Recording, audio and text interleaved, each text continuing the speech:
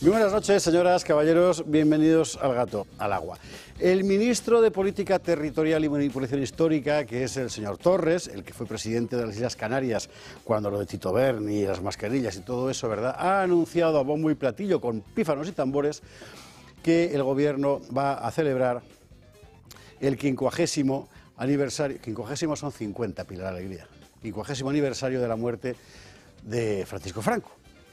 Y va a hacerlo eh, no conmemorando evidentemente la muerte del dictador, sino haciendo una gran campaña, muy fundamentalmente en las escuelas, sobre la Segunda República y la Guerra Civil. Es decir, que para conmemorar algo que ocurrió hace 50 años, van a hacer una campaña recordando lo que ocurrió hace 85 años.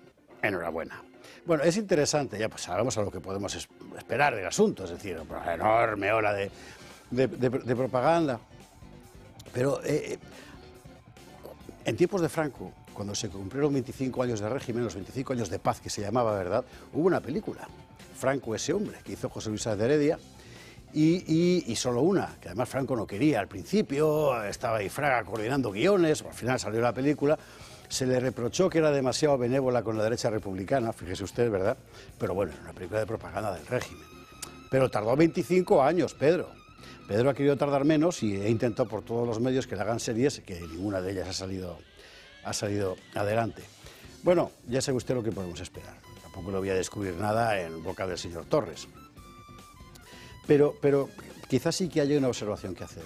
Eh, es dudoso que de aquí a noviembre del 25, que es cuando se producirá la efeméride, este gobierno siga en el poder. Yo le sugiero que celebre otra cosa, que conmemore otra cosa en la que seguramente sí que estarán todavía en el machito, que es el eh, aniversario de la revolución del 34. Son 80 años, ¿no? Son, perdón, 90 años, 90 años de la revolución de octubre del 34, en la que el Partido Socialista, de consumo con el separatismo catalán, se cargó la Segunda República. La Segunda República pudo haber sobrevivido al primer bienio, radical socialista y tal, bueno, pudo haber sobrevivido al segundo, el de la derecha, pero a lo que no sobrevivió fue a un complot, a un golpe de Estado, de eso fue de hecho, ¿verdad?, del Partido Socialista con elementos del Partido Comunista muy minoritarios aún, los anarquistas y los separatistas catalanes. Aquello se cargó para siempre la República. Todo lo que pasó después trae causa de aquello. ¿Cómo será que Indalecio Prieto, eminente socialista, dijo después de la guerra que su mayor error había sido apoyar aquella revolución? Creo, señor Torres, señor Sánchez, señora Begoña, que sería una magnífica efeméride, hasta aquí ya, el mes de octubre, ¿verdad? Eh, recordar cómo el Partido Socialista Obrero Español hundió la Segunda República para siempre y por su culpa, efectivamente, terminamos llegando a una guerra civil. Señor Torres, tome nota.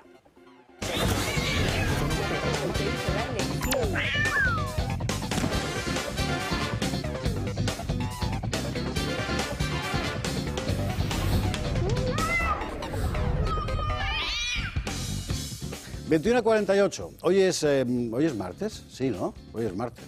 No sabemos en qué día vivimos. ¿Por qué? Por el fútbol puñetero. Como todos los días hay fútbol, pues ya no sabe en qué día, en qué día está. Seguramente muchos de ustedes están viendo en este momento el Real Madrid-Manchester y nos verán cuando termine el Real Madrid-Manchester. Así que para todos ustedes no saben lo que se van a perder, porque esto es el día. Aquí el directo es muy importante, pero en todo caso nosotros con muchísimo cariño les empaquetamos el programa de hoy para que lo vean después tranquilamente. Titulares.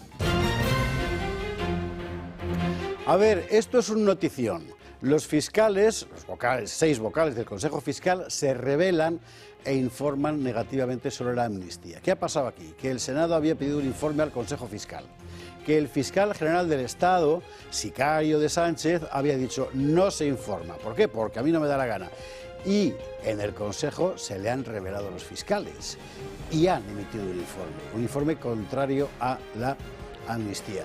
Bueno, mire, o sea, en España hay pocos héroes hoy en día, pero dentro del mundo judicial hay algunos que lo están siendo. Y estos fiscales, desde luego, lo son.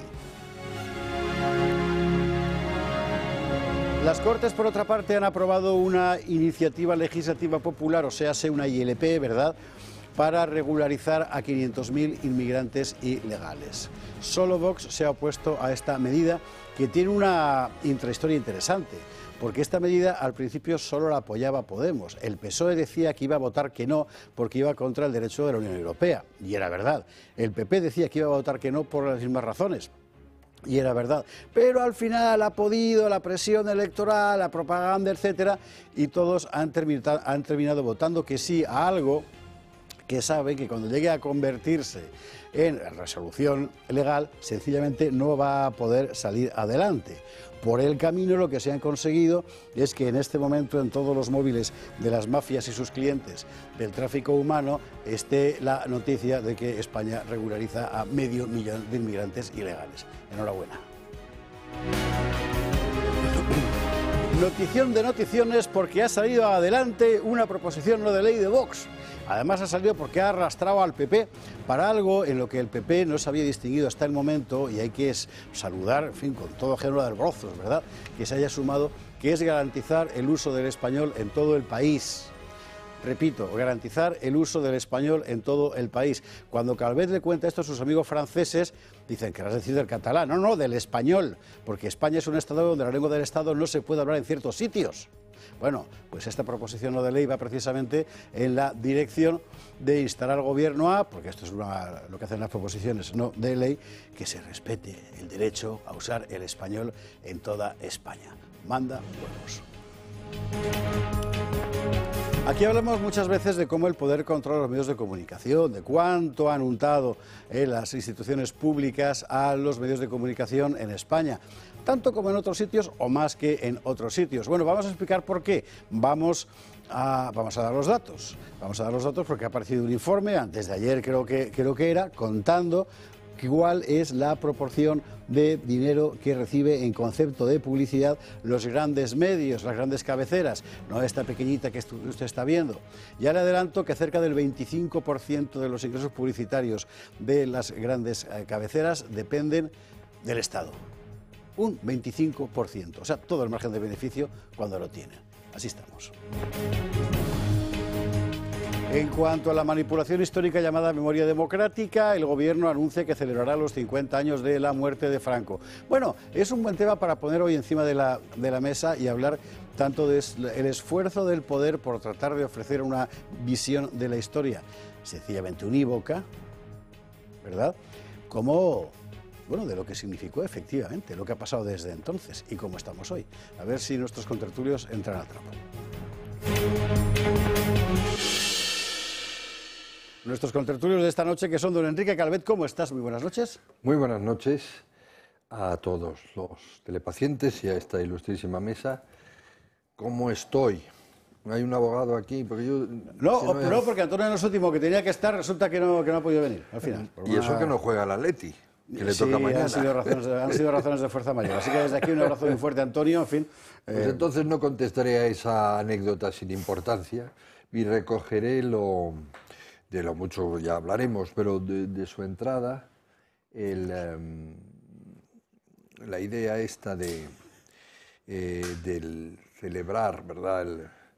Eh, la muerte del, del dictador pasado y, hombre, mm, si hablamos de memoria histórica, ya sé que el PSOE actual, el sanchismo, no puede vivir si no resucita a Franco permanentemente, cosa que nos ha dado en otras... En otras yo no veo a los griegos continuamente hablar de sus coroneles ni de, estas cosas, ¿no? Eh, no digamos ya Italia, Alemania y tal, que, que bueno, que no. Pero de todas las maneras, eh, ya que lo veo tan preocupado, primero les aconsejaría ver una entrevista reciente de a Felipe González, que es ah, de Cebrián, ¿no? con Cebrián, tanto, que es tanto memoria histórica como historia viva, por cierto, que es la, la, que más nos puede interesar para, para seguir adelante. Pero sobre todo, hombre, si nos vamos a meter esto y para no llegar hasta el rey Fabila, antes también habría que hablar en las escuelas de ETA, ¿no? Y del vínculo ETA. De, eso hablaba precisamente Cebrián. sí, es más reciente, ¿no? Y de ETA Bildu, y de cómo el Tribunal Constitucional Español eh, le da una bofetada a los jueces profesionales, que es lo que se acordó en la Constitución, que la judicatura fuera profesional, eh, cuando eh, declara a Bildu ilegal, y sin embargo viene un constitucional y políticamente le le rehabilita y cosas de estas, ¿no? O sea, eh, esto es, esto es una vergüenza de armas tomar que solo se puede aplicar a una sociedad bastante enferma o con una masa crítica de la sociedad muy, muy enferma porque, porque le están tomando el pelo. Conste que en la mesa sí que hay un abogado, me acabo de enterar. Pero te lo voy a explicar después. Enrique, bienvenido, buenas noches. Don Sergio Barabezo, ¿cómo estás? Muy bien. Y no es Sergio Barabezo el abogado. No, no soy abogado. Por lo tanto, ya está visto. A pesar de que tengo dos años de hechos de derecho, pero bueno. Pero se torció, el derecho se torció.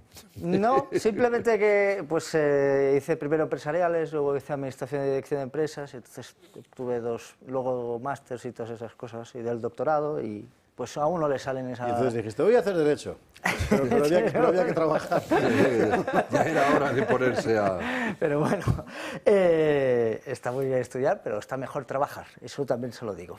Empecé a los 18 años trabajando en un almacén, que mi padre me lo sigue recordando todavía. ¿Tu primer trabajo fue en un almacén? Sí, Sí, sí, que por cierto, no sé por qué se reían el otro día en la Asamblea de Madrid, eh, la izquierda, de los trabajos que tuvimos algunos de nosotros al inicio de nuestro... Ah, eh, pues si yo les cuento los míos... Digo, oiga, yo he trabajado de cosas inexplicables. O sea, me imagino que para gente que está hecha a vivir del horario público desde chiquitinos, como buena parte de ellos. Sí, y a mí me sorprendió. Yo traté de vender puertas blindadas, vendí una. Tú intentantes que Puertas blindadas. Ah. Y luego pintar paredes, que eso se me daba muchísimo mejor. Pero nada artístico, ¿eh? Pero, pero puertas blindadas hoy tendría más éxito que en aquel entonces. Sí, seguramente sí. pero bueno, déjeme eh, comentar un, una cosa eh, sobre la política.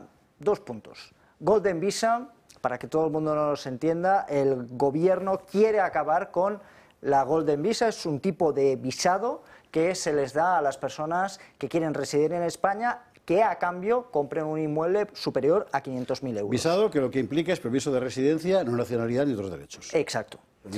A partir de ahí, si hay algo que podríamos criticar de esa Golden Visa o ese visado especial, sería una cosa que es bien clara. Podríamos aumentar el, eh, el importe, el debe de pasar de 500.000 debido a la inflación que estamos viviendo, 500.000 euros es muchísimo dinero. ¿eh? Si lo pasamos en pesetas, eh, flipamos. Eh, 500 es muchísimo dinero. No, pero, no, para, no, para, el, mercado inmobiliario actual. Actual, por lo tanto, tendría que ser una actualización. Y dos, ampliarlo, yo lo ampliaría de manera muy clara, para inversiones en empresas, a partir de un millón de euros, que se puede ir a hacer. Eso beneficiaría a todos los españoles en vez de, o sea, en vez de eliminarlo, no, ampliarlo y mejorarlo. Sí, está bien, o sea, profundiza en eso. Hay que recordar, nosotros competimos, por ejemplo, la Comunidad de Madrid intenta competir con Florida. Es verdad que estamos en una situación más complicada, pero... Hay, más caimanes aquí. pero, por ejemplo, una de las cosas es que 500.000 dólares uno ya se puede llevar la Green Card en Florida, por ejemplo. Eh, y en España va a ser imposible. Va a ser imposible a partir de ahí. Dos, también quería eh, comentar eh, la propuesta que ha hecho suya la COE, que algunos economistas hemos hablado, sobre el pago o el pago ah, sí, Sí, esto es interesante. Yolanda se ha puesto de los nervios. Detállala, detállala. Además aquí lo hemos contado muchas veces, efectivamente. Sí, simplemente es que uno cuando recibe la nómina, el trabajador reciba primero todo su salario íntegro y luego haga pago de la seguridad social e IRPF. A partir de ahí podrá ver exactamente cuánto es su salario íntegro y total. ¿Y cuánto se lo queda el Estado? Exacto, y verá que prácticamente es más del 45% lo que el, el, Estado se lleva. ¿Qué ha pasado? Yolanda Díaz ha alzado la voz diciendo que esto es populismo, que es una medida tan loca que mm, podría mm, proponerlo Trump o Milley. Digo, me cachis en la mar, pues debe ser buena. Entonces la... la, verdad, aquí hemos explicado muchísimas veces que lo que, lo que el, trabajador percibe y el empresario le paga son dos magnitudes completamente diferentes. Así El trabajador percibe en torno a un 60-65, según los casos, ¿verdad?, por ciento del salario que el empresario le paga. Porque de eso que le paga, el Estado se queda unas cotizaciones salvajes y además la retención del IRPF, con lo cual efectivamente todo trabajador tiene siempre la impresión justa de que le están pagando poco pero no porque el empresario le pague poco, que alguno habrá, sino porque por el camino te pegan una dentellada que se la queda. De- y déjeme, déjeme de dar un, un ejemplo claro y, y concreto, que es un empresario que quiere pagar a su empleado 1.800 euros, como empresa tiene que pagar 3.200. Sí. Es así de duro. Yo me he pasado horas firmando nóminas y, y- y eso figuraba. ¿Desde cuándo no figura? Es decir, se le daba un, Sí, sí, sí. un sí, estadillo sí, sí. donde Sí, pero, no tac, pero, pero, pero el- el- el- cuando recibes en tu casa la nómina, normalmente uno no se pone a mirar a ver cuánto se ha quedado Hacienda. No, pero entonces, ¿cuál es la Tú lo que propuesta? miras es el bruto y el neto. Pero- que lo pero- recibas todo. Que lo recibas todo. Ah, que lo Y que reciba, luego pagues que tú, y el luego banco pagues tú. todo Claro. y pagues tú. Y que luego seas tú el que El paga. es claro. simplemente cambiar el proceso de pago. ¿Qué es lo que, que esto para qué lo ha hecho Garamendi? Pues para que la gente tome conciencia de lo que está pasando con el esfuerzo fiscal formidable que estamos eh, soportando es- todos, Ojo, ciudadanos y empresas. está obligado por nuestro eh, derecho tributario. La transparencia fiscal, ¿no? Ya Es, es llaman. necesario.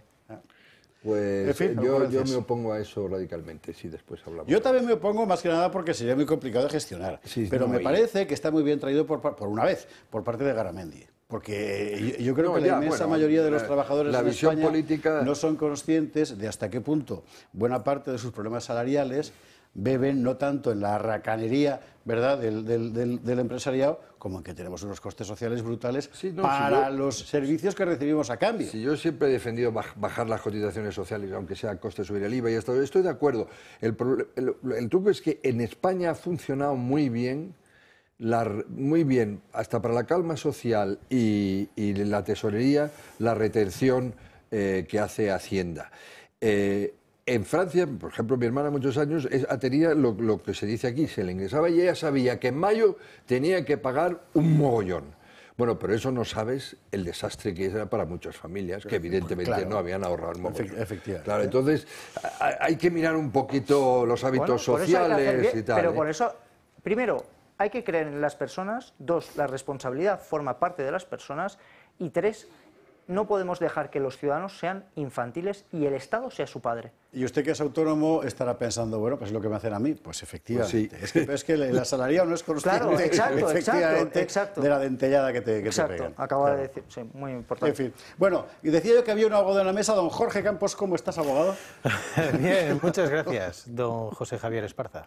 Encantado de estar aquí. Ve- ve- ve- veremos el asunto en detalle un poquito más adelante, pero ya ha salido adelante vuestra PNL ¿Mm? con el respaldo del PP, que al final ha habido unas, unas enmiendas y unas transaccionales, todas esas cosas, ¿verdad?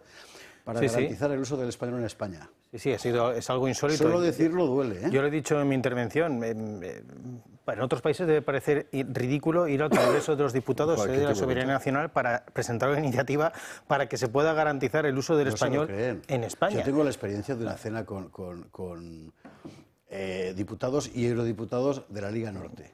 Cuando aún era Liga Norte, ya luego fue la, fue la Liga. Y no se lo creían.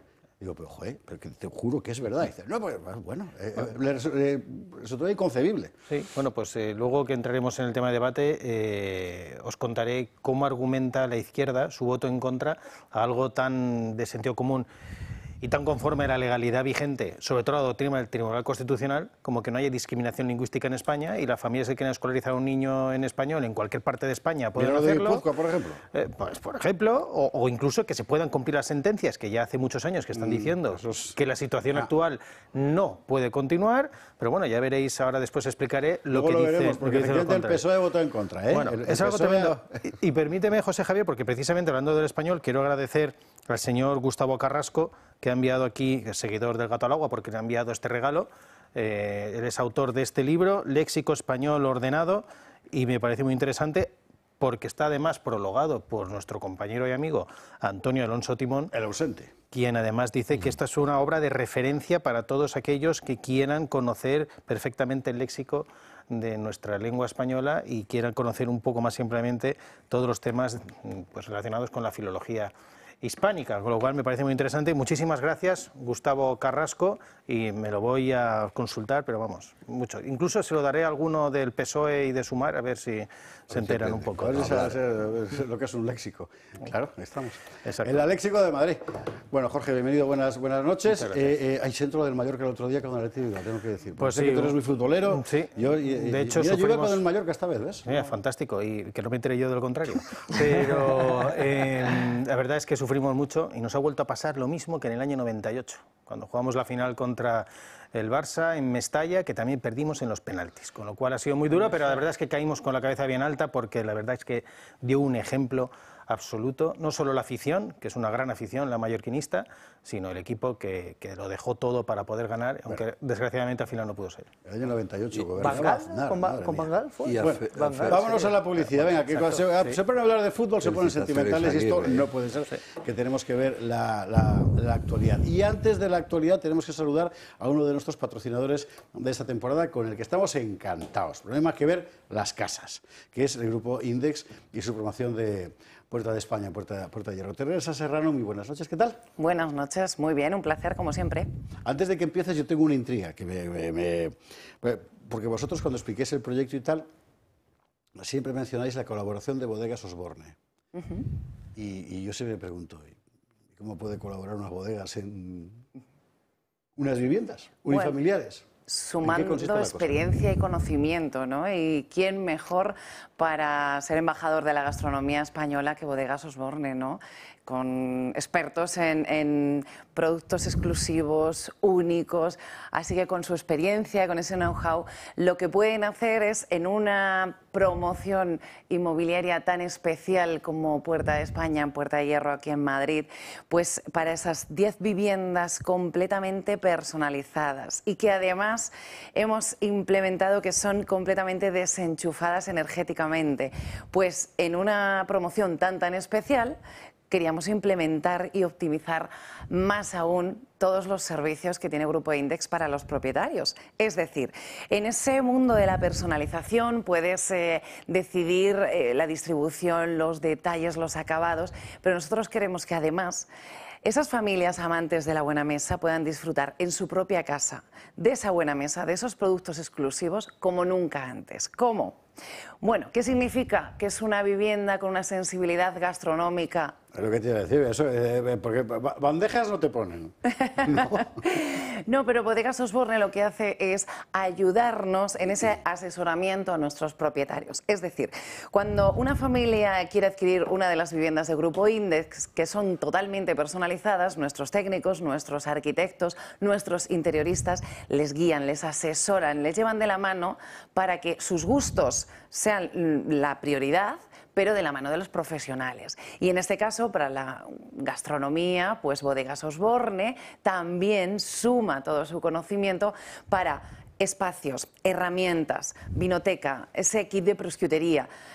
Es, todos esos espacios lo que hacen es mantener la humedad, la temperatura que ah, necesitan unos alimentos gourmet, por ejemplo, unos ibéricos, quesos, jamones. Que no van al crisper de la nevera. Claro, es que todos los... La, cosa, o sea, de la cocina nada de nevera corrida, de, perdón, banco corrido y nevera, sino que de lo que se trata es de que los productos eh, que requieren delicadeza puedas mm, encontrar un espacio adecuado para guardarlos, conservarlos de la mejor forma posible, incluidos los vinos. Que no tengas que tenerlos en la terraza. No, claro, no, no. Y además es que para, que, ah. para salvaguardar, para mantener toda la textura, sabor, olor, esas cualidades organoeléctricas que tienen esos productos gourmet, evidentemente, como bien dices, pues no pueden estar en una temperatura o en una humedad estándar, ¿no? Necesitan unas condiciones especiales para ir consumiéndolo durante cierto tiempo, para mantenerlo hasta que lo consumes. Y ellos tienen la experiencia de, pues, según el interior del espacio, cuál es el mejor lugar para tenerlos colocados y que conserve el sabor, y el aroma y te dure más, etcétera. Sí. Así que de, la mano de, un gran compañero de viaje como es Bodegas Osborne, lo que hacemos es eh, sumar y sumar para que la personalización de esa vivienda sea 360, ¿no? que, que puedas disfrutar de la buena mesa pues de, convivir en torno a, una comida, a una cena, con, visita o en el día a día. Y puedas hacerlo en tu propia casa, pero em, con condiciones propias del ámbito de una cocina profesional. Y lo que haces es combinar la funcionalidad con la estética, ¿no? Para que todo sea pues armonioso, no solo profesional como en una cocina, sino que también quede bonito en tu cocina. Para eso están los interioristas. Pues mire, esta es una de las eh, singularidades de esta, de esta, propuesta de residencial Puerta de España, esas viviendas unifamiliares enteramente desenchufadas de la red, autosuficientes energéticamente en materia de electricidad, calefacción, etcétera, que le permiten dibujar a usted mismo el interior como lo quiere, de anchos, de espacios, de todo, y encima además con ese plus de los espacios adecuados para tener, para comer como Dios manda. Mira que... Teresa, muchísimas gracias. Un placer, como siempre. Le recuerdo, llame ya 655-338-982. Además, si usted llama de parte del Toro Televisión y entra en, la, apuesta, le van a hacer una rebaja. O sea que no pierda la oportunidad. Por probar, que no quede. Y nunca mejor dicho, hablando de gastronomía.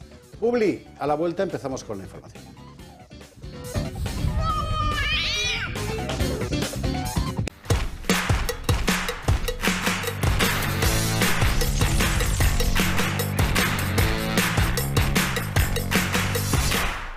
La familia, nada más importante. Pero en todas ellas surgen conflictos. Oye, dame eso. No aguanto más.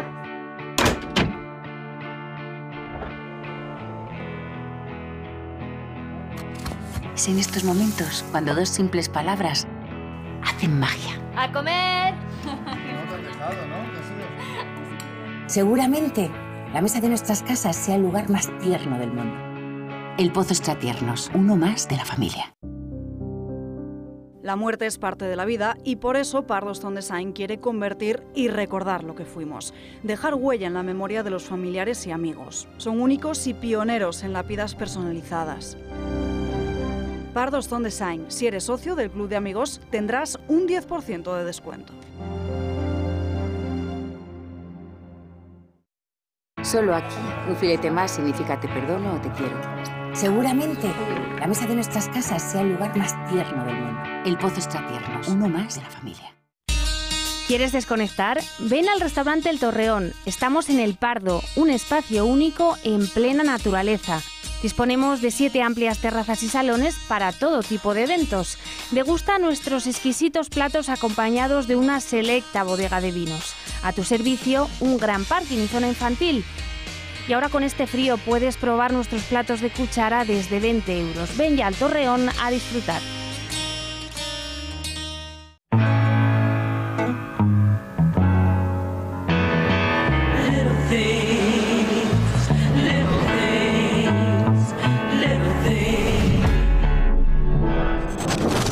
it's the little things that mean an awful lot.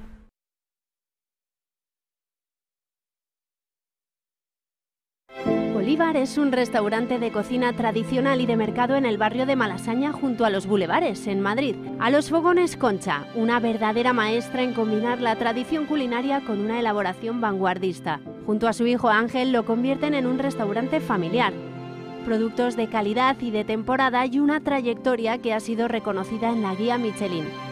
Restaurante Bolívar, disfrute de la esencia de Madrid en cada bocado. Si enseña su carnet de socio del Club de Amigos tendrá un 10% de descuento en el total de su factura. Si quiere solucionar con éxito su pérdida auditiva, visite mi centro auditivo. Profesionales expertos con más de 20 años de experiencia en la mejora eficaz de la audición. En mi centro auditivo le ofrecen la tecnología más vanguardista, como los audífonos Phonak, que cuentan con los avances más novedosos en prestaciones tecnológicas, diseño y conectividad. Reserve su cita y disfrute de un mayor bienestar con una mejor audición.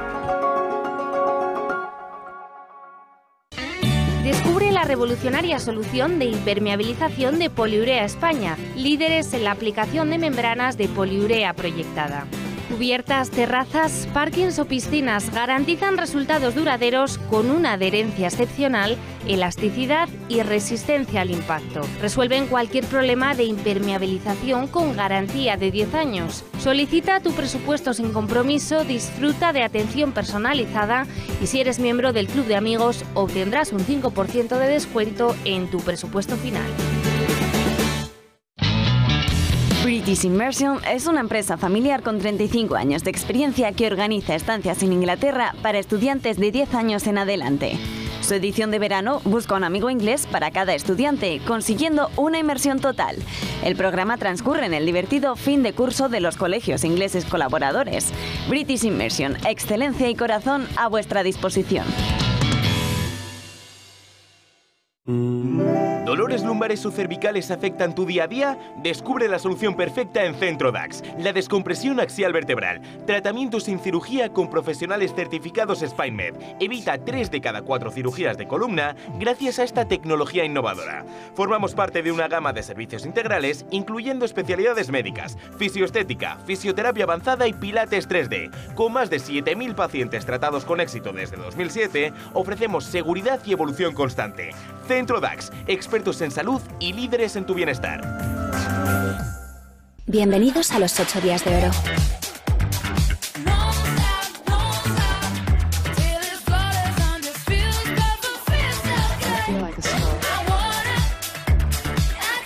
Más de 600 marcas, hasta un 30% de descuento.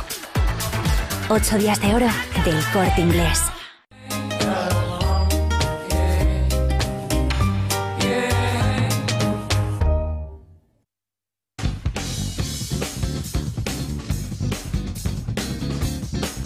...22, 15, 21, 15 en Canarias. Vamos a empezar con un asunto que es de una enorme importancia porque es un ejemplo de irresponsabilidad. Vamos a ver.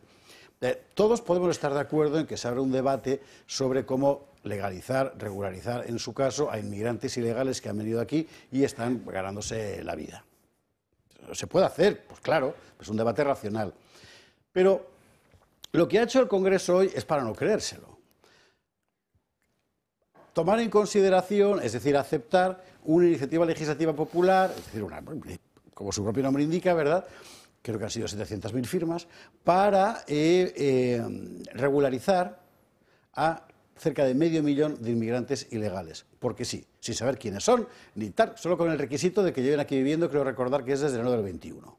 Desde enero del 21. Creo que sí. Lo más notable del asunto es que hasta hace unos pocos días todo el mundo menos Podemos quería votar en contra.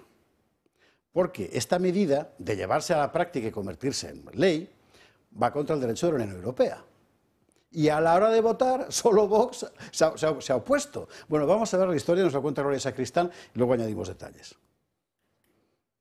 Regularizar a alrededor de medio millón de inmigrantes que viven de forma irregular en España. Es la iniciativa legislativa popular que ha llegado este martes al Congreso y que está respaldada por más de 600.000 firmas. Una iniciativa apoyada por el PSOE y sus socios de Sumar, Junts, ERC, PNV, Bildu, BNG y Podemos. Pachi López ha confirmado esta mañana en rueda de prensa que apoyarían la medida. queremos eh, enfrentarnos a este fenómeno de la inmigración de manera inteligente y razonable. No se trata ni de barra libre ni de cerrar fronteras. Los populares también se han mostrado partidarios de apoyar la iniciativa. Feijóo ha asegurado que no son insensibles a la problemática de las personas que permanecen en situación irregular en España. que este partido es sensible con ellos y buscaremos soluciones para una inclusión social correcta y legal en nuestro país. Vox es el único grupo parlamentario que se opone completamente a la medida. porque lo que plantean es hacerlo por absoluta vía de la ilegalidad y con la idea subyacente de llevar a cabo una sustitución poblacional, fomentando esa llamada a la inmigración ilegal que está poniendo en riesgo nuestras calles. Desde su cuenta de X, los de Abascal también han dejado claro que no quieren regularizaciones masivas, sino deportaciones masivas. La andadura de esta iniciativa comenzó hace más de dos años. Su objetivo es dar al Gobierno seis meses para aprobar un Real Decreto con el fin de regularizar la situación de los inmigrantes que se encuentran en España antes del 1 de noviembre de 2021. Una iniciativa que va en contra de la normativa europea y que puede provocar un efecto llamada. Y en esto último está la clave, porque mire, insisto en que el debate sobre la inmigración es un debate que hay que tener. En Europa no se ha tenido y se está empezando a tener ahora. Cuando digo Europa me refiero a todos, nosotros incluidos. Pero la hipocresía de verdad es lo que no soporto. ¿Qué Vamos a ver, si el PSOE desde el principio hubiera estado en la eh, regular- regularización, pues muy bien. O el PP, pero es que resulta que no. Es que estaban en contra. Al final se ha quedado solo Vox, que en este asunto ha mantenido la posición que ha expresado Rocío de Mer de esta manera. Bueno, nosotros sí creemos en España, en los españoles. A nosotros no nos da igual. Y queremos que España siga siendo España y no Marruecos, ni Argelia, ni Nigeria, ni Senegal. Y esto no es odio, ni es xenofobia, ni racismo. Es puro sentido común.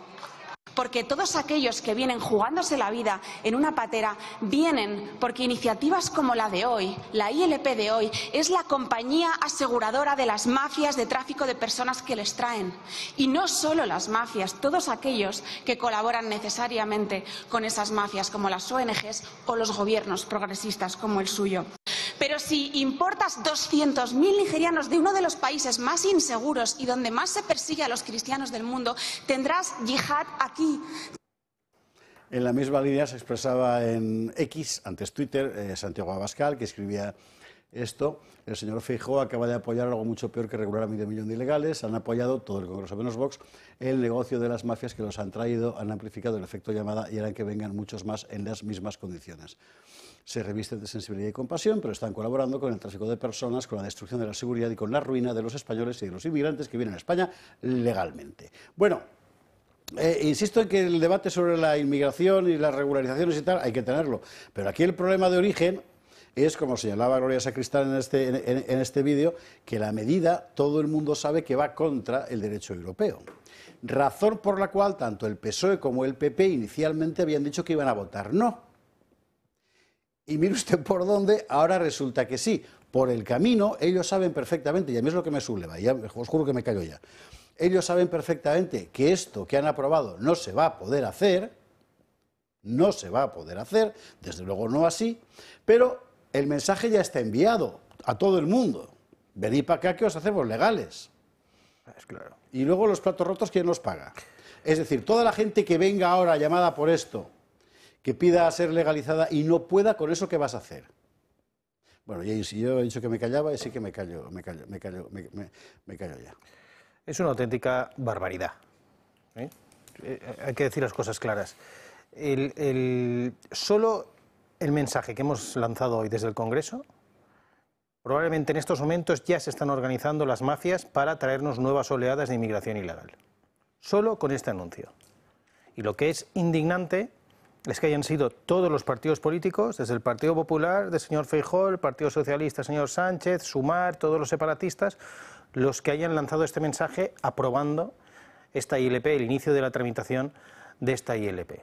como bien decía Santiago Abascal, y lo expresa perfectamente también Rocío de Mer en su intervención, por una parte, eh, vamos a ver, si queremos convertir España en un país africano como puede ser Nigeria, vamos a tener los problemas de Nigeria aquí en España. Eso para empezar. Y por otra parte, si también lanzamos un mensaje para aquellas personas eh, que no, sean yihadistas, sino incluso aquellos que de buena fe puedan intentar eh, pues llegar a un país para poder vivir mejor y después acaban ahogados en el Mediterráneo, también es responsabilidad de los que hoy han aprobado esta ILP. Es decir, lo que es indignante y es absolutamente una aberración es que todos los partidos políticos del Congreso de los Diputados, con representación en el Congreso de los Diputados, hayan lanzado un mensaje a todas las mafias para que sigan viniendo aquí y hayan lanzado otro mensaje también a todos los ciudadanos españoles diciéndoles, oigan ustedes, los que viven en el barrio de San Francisco de Bilbao, que vimos los problemas que hubo el otro día en un acto de Vox, o los que viven en los barrios, de, pues no sé, de Lavapiés, o que viven en el Puche, en Almería, o en el mismo Songodleu, en, en mi ciudad, en Palma de Mallorca, que sepan que con esta medida van a tener muchos más delincuentes inmigrantes que son los que se cuelan en su mayoría a través de esta inmigración ilegal, como están cansados de denunciar no solo los miembros de Vox, sino los sindicatos policiales y los inspectores de extranjería, como anunció recientemente el inspector que se acababa de jubilar, Chema Manso en Mallorca, donde decía que el 80% de la inmigración ilegal argelina que viene a Baleares viene a delinquir. O de las detenciones de yihadistas que también han entrado a través de las pateras. Bueno, pues esto que ha votado el Partido Popular y el Partido Socialista a favor, hoy mismo y mañana ya tendremos noticias de esas nuevas oleadas de ilegales poniendo en riesgo la vida de los propios españoles. Sergio Enrique. Eh, yo hay varias cosas. Se está confundiendo en este caso eh, la regularización con aquellas personas que están trabajando. De hecho, la mayoría de ellas sabemos por las estadísticas que tenemos del INE que son eh, personas de origen latinoamericano, iberoamericano, hispanoamericano. esa es a la gente que le va a afectar. Lo que está ahí, bueno, no, es la segunda parte. Ha cambiado a, estas personas y a otras. Esta es una de las enmiendas que se quiere incorporar después, efectivamente. Ha cambiado, eh, hay uno de los puntos que es, ha cambiado todo esto, primero en el contexto actual. Es cierto que la inmigración actual, o sea, hay varios puntos que sí que me parece eh, en los que estamos de acuerdo. Sí que creo que no era el mejor momento actualmente de aprobar un tipo de eh, propuesta como la actual eh, en el punto este que comentabais. Es una llamada mm, y creo que no es el mejor momento. Para hacer regularizaciones, primero hay que pasar por un eh, por, una, mm, por diferentes procesos, uno de los cuales sería asegurar cuáles las relaciones con los diferentes países. Dos, asegurar fronteras en aquellas zonas donde hay una, una entrada irregular. Y tres, eh, saber perfectamente qué problemáticas existentes eh, hay. Mucha de, mucha de la inmigración que recibe, como estabas comentando, eh, de, origen africano, España es un país principalmente de paso, que va la mayoría a Francia, luego a Bélgica, etcétera, etcétera. Esa es la, la realidad que tenemos. Y vuelvo a insistir, estoy de acuerdo en que no es el mejor momento para hacer una aprobación así y que creo que es cierto que la llamada es clara. También es cierto que no todo se estaba comentando, todo inmigrante que viene de África, que, que no, es, no es la característica de España. Esa no, esa no es cierta. Y yo no, soy, yo no estoy de acuerdo con las, con las eh, políticas de, em, de estas eh, regularizaciones masivas. Creo que no se pueden hacer, primero que no se pueden hacer, segundo, creo que son peligrosas porque eso significa que el Estado ha fallado en muchas cosas, que no sabe, eh, no sabe frenar cuando hay inmigración, no sabe eh, qué, em, tener un control de, los de, la gente que entra en el país, y tercero, si necesitamos gente, pues habrá que hacer por los cauces necesarios y, y, demostramos que no está funcionando bien. Yo creo que las regularizaciones es el paso final de hacer otras muchas cosas bien y correctamente. Enrique Calvet, ¿tú cómo lo ves? Vamos a ver, mm, no, voy a hablar de la inmigración, los problemas de la inmigración, que es un tema que, nos va a ocupar a los europeos los próximos 50 años, porque tenemos ahí 1.500 millones de personas que van para 3.000 millones deseando venir para acá. Pero mm, eh, mi postura es radicalmente opuesta a la de Vox en este caso. Entonces no, voy a hablar de eso, sino de lo que usted ha levantado, que es lo de la ILP de hoy. Y ahí sí quiero decir lo, siguiente. Primero, a mí gobernar a bases de ILPs eh, siempre, y, en Europa pasaba lo mismo, siempre me ha asustado, ¿no? porque activistas organizados no pueden sustituir a un parlamento. ¿eh? Absolutamente cierto. ¿eh? Absolutamente cierto. Por eso, la realidad es que lo que hoy se ha abierto, en mi opinión, vamos, y por lo que he leído y tal, es un debate sobre la posibilidad de regularización de migrantes. Exactamente. Eh, un debate. Por lo tanto, que no se puede eh, porque la, Comisión Europea, vamos, las leyes europeas no lo permiten, pero ya veremos cómo termina la ley de aquí. Pues porque ya te puedo decir yo cómo va a terminar. El problema es que tienes que irte a Senegal a explicarlo allí en los cayucos. No, pero un momento. Claro. Bueno, eso es la primera cosa que quería decir. Se va a abrir un debate y ya veremos lo que sale, si sale algo, por ejemplo, no se dice en cuánto tiempo, ya veremos. Entonces, es un gesto político claramente. Y en eso Vox tiene razón, decir yo a esa política, yo no quiero ese gesto político porque me parece peligroso para España. Pero es un gesto político, es decir, yo no, no, no sería alarmista. Segundo, ¿Por qué 500.000? O sea, esta ILP me parece una chapuza. Absolutamente. Porque calculan que es el número, porque calculan que es el número de inmigrantes ilegales que desde noviembre del 21 tienen condiciones. Eso lo sabrá la policía, ¿no? Que eso que. Pero ¿qué- por definición, si, son- si están fuera del, del, del, del, sistema, o sea, unas es- cosas es- que un- entrado, un- otras que se hayan quedado. por eso es- tal. por Vale. eso es el último Entonces, paso, O sea, que todo eso eh, está hecho. Y, Exactamente. y, eh, en cuanto al gesto eh, político, hombre, está claro que hay muchas elecciones pendientes y que no quiere ninguno perder la, eh, el aspecto, ¿cómo diría yo?, eh, buenista ¿no? y, huma- y humanista y tal, eh, ninguno de los, de los dos grandes partidos. Yo creo que el PP ha calculado que sería un coste político muy fuerte y a partir del momento que el PSOE dijo, bueno, pues sí, pues supongo que por sus equilibrios con Sumar y todo eso, pues dijo, pues yo no me... Ya, ya la sabotearemos entre todos, incluido el PSOE, ya la sabotearemos pero, en el eh, debate. A, a mí, a mí es precisamente eso lo que me escandaliza. Bueno, o sea, yo podría yo- entender eso- eso es política. El, el argumento humanitario como el de Caritas. No, esto es política. Sí. Pero, Yo- pero claro, ellos saben que, no, que ellos saben que no van a poder hacer Ah. lo que han anunciado que hacen. Esto es... Ah, y yo- Díselo y- luego y- al tío y que ha recibido el Una mensaje. cosa que no he terminado nada más. Es decir, en este momento ya lo del efecto llamada ya no existe. Es decir, no hace falta efecto llamada. Eso están las mafias ahí trabajando. Y a partir del momento que tú llevas mucho tiempo y has, mm, eh, eso sí, ol- olvidado la posibilidad de deportaciones masivas, el efecto llamada ya no existe, es permanente. Van a seguir viendo porque saben que de una manera u otra, si no mueren en el camino, está No, hecho. Enrique, no estoy de acuerdo en absoluto. Vamos a ver, el efecto llamada sigue existiendo. De hecho, no. cada vez que se ha anunciado alguna medida favorable a la inmigración ilegal, ya sea a través de ayudas que se reciben, ya sea a través de los canales informativos, de incluso los gobiernos autonómicos, te lo digo porque yo lo he vivido en primera persona. Cuando estaba la señora Armengol en Baleares anunciando todo el apoyo del mundo a una organización que colabora con las mafias como es Open Arms, a continuación teníamos una nueva llegada y una nueva oleada de pateras. Si hoy estamos lanzando, si es que ya no hace falta entrar en el aspecto técnico de si esta ILP después se tramitará, harán enmiendas o no, es que hoy, lo que se ha hecho hoy, ya es lanzar un llamamiento a las mafias y decirles, "Eh, chicos, venid para acá, que tenemos a todos los partidos del arco parlamentario español que dicen que los vamos a regularizar a todos. Y esto supone un aviso a todos aquellos que pagan sustanciosas cantidades a estos del tráfico de personas. ¿Y quién es el que recibe la primera consecuencia negativa que está íntimamente ligada, que es la inseguridad, porque a más inmigración ilegal Es hay no más inseguridad. Bueno, pues yo sí, porque no porque nos tengamos un capricho, sino porque ahí están los datos, ahí está la propia Policía Nacional, ahí está la tasa de criminalidad, por ejemplo, en Baleares, que desde las oleadas de los últimos cinco años se ha disparado a ser la que tiene mayor tasa de criminalidad de España y la mayoría de los delitos los cometen eh, argelinos y africanos en situación de ilegalidad.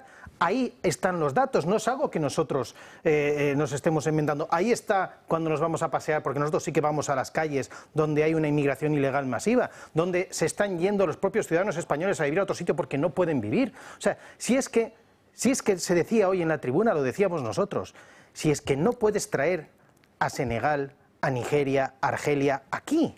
No puedes, porque esos problemas que tienen allí de inseguridad los estás trasladando aquí, porque la ilegalidad conduce a un descontrol y el descontrol conduce a una inseguridad que es lo que estamos sufriendo ahora. Aprobarse esto hoy es una auténtica barbaridad y no estamos hablando de temas humanitarios. Aquí no estamos hablando de humanitarios. Precisamente si hablamos de temas humanitarios, lo que hay que hacer es no lanzar esto, porque aquí va Sí. mucha gente que se lanzará al agua y acabará ahogada. Cerramos con 30 segundos por barba y cambiamos de tema. No, simplemente que para mí o sea, es que hay dos, dos asuntos que, en el que se habla. Uno es el de la inmigración como está actualmente y dos, otra es una regularización de la gente que está trabajando. Es que lo único que vas a poder es regular a gente que trabaja. Ahora bien, eh, no creo que sea el momento, creo que el proceso es eh, final de una elaboración muy compleja y estoy con varias cosas bastante de acuerdo y una de las cuales es ¿por qué 500.000 personas? Sergio, si yo entiendo que tengas que hacer juegos malabares, porque es difícil ser del No, Partido pero- Popular y defender lo que, ha, lo que ha aprobado hoy tu partido.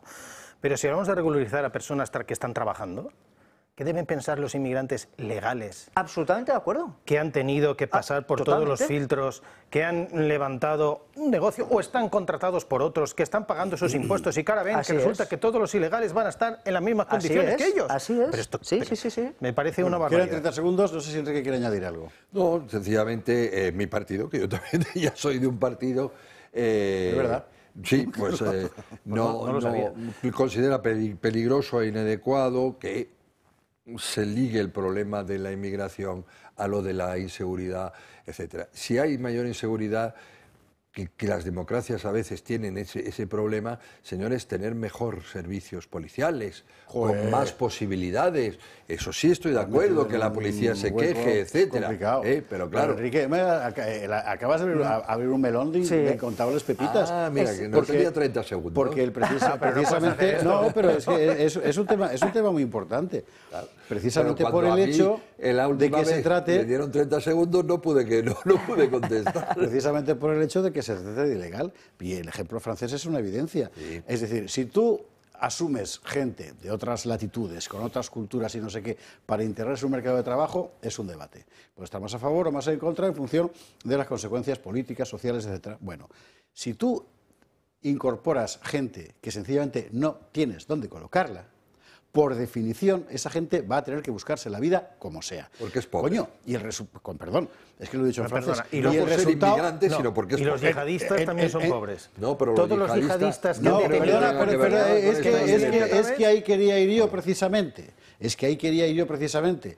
Eh, no solo por el hecho de ser pobres, pero si tú acabas de aterrizar en un sitio donde no hay nadie como tú y tú no tienes con qué ganarte la vida, vas a reconocerte en aquellos que te ofrecen algo. Y quienes te ofrecen algo son las redes preexistentes que no- normalmente actúan fuera de la ley, como ocurre en toda la banlieue de París. Pero ese es el problema.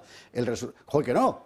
¿Y el resultado final cuál es? Que tienes un arco de ilegales que no sabes Ay. cuál es, entre 80 y 250 mil. Ea, vaya arco. Ya no son 500, por lo que veo.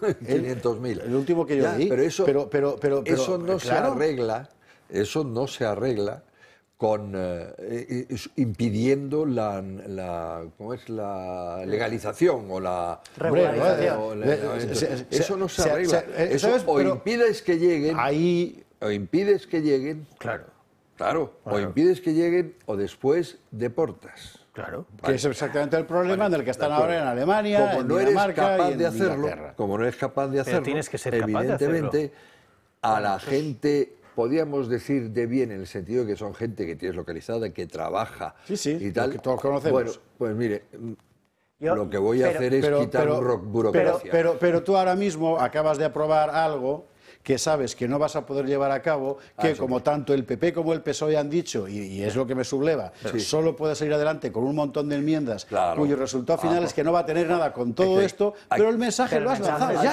Hay eso un matiz importante, lo, de, lo que acabas de decir, Enrique, hay un matiz importante. Una cosa es agilizar la burocracia de aquellos que están mm, administrativamente reglados o administrativamente legalizados, pero que están trabajando y no tienen aún el, el permiso para quedarse aquí. Una cosa es agilizar la burocracia de personas que están en esta situación y otra cosa es regularizar a medio millón de inmigrantes ilegales. Sí, claro, bueno, es que, medio bueno, millón, ¿de dónde bueno, sale? medio millón, pero aunque fueran 300.000, es que es una barbaridad. Es que, lo que, es que lo que no se puede permitir es que las puertas Sí, de tu la- casa sean un coladero y que venga aquí todo el mundo, sean 100.000, Y lo- 200.000 el- o un millón. y lo que hay que hacer es muy devolverlos. Muy rápido, muy Sergio, rápido. cerramos tema que... Pero No, ese es no. el debate que se ha abierto hoy. ¿eh? Muy- pero muy rápido. Eh, es, y es absolutamente falso que sea un problema económico aquella persona que va a un país y no tiene recursos y automáticamente eh, s- a- a- eh, le lleva a la delincuencia. Porque hay muchísima gente, está absolutamente demostrado. Es un tema cultural. Sí, sí, eso es- Hay sí. culturas que no tienen, que llegan a un país, no tienen nada, empiezan desde cero y empiezan currando. Los Pero, chinos. Sergio, perdona. Sí, que- entonces no, entonces- es no, que no, simplemente- Ni siquiera es tema cultural, que tienes razón, ¿eh? Pero perdona, y solo es un apunte y sigues. Es que el inmigrante que nos está llegando, y te lo digo, el inmigrante sí, que está llegando a Mallorca o a Formentera mañana en Patera, A es un en el Rabat de El Barcelona. 80% en el Raval de Barcelona son delincuentes. Están Sí. viniendo delincuentes. ¿Y qué hacen? Delinquir, que es lo que saben hacer. Y lo hacen aquí. Total. Señores, hay que ser la publicidad. Es evidente que este es uno de los grandes debates eh, sociales y, y- y- y me parece que hay que tenerlo y tenerlo mucho. Es y lo será. Y, tratarlo, Sí. y si lo será, y Es tratarlo lo con seriedad. No lo que ha hecho ya el Congreso, que insisto que a mí lo que me parece es que no ha habido debate ninguno. Ha hecho populismo. Vamos a ser buenos porque Caritas nos lo aconseja. Ah, toca la nariz. Hipócrita, si sabes que no vas a poder sacar adelante lo que acabas de prometer. bueno, señores, en fin, hay que- vamos a hacer una pausa para la publi porque hay un montón de cosas de la escalera. De momento, esto lo tengo para mí. Me parece que hoy el Congreso acaba de arreglar las elecciones a Vox en lugares como Orcasitas, eh, Sabadell, Villaverde, Badalona, etcétera. El, Ahora ¿Cómo se eh, eh, en Almería? El. El elegido, el, Puche. el, Puche, elegido, el elegido, también, elegido. Bueno, pausa para la pública, hay que hacerla sí o sí. y a la vuelta vamos a ver un ratito de la memoria eh, histórica de Torres, hombre, un pelín, antes de meternos con Begoña y todas esas cosas. Y la rebelión de los fiscales, que el tema es importantísimo. ¿eh? No sé si por las consecuencias, pero desde luego por el gesto. Enseguida.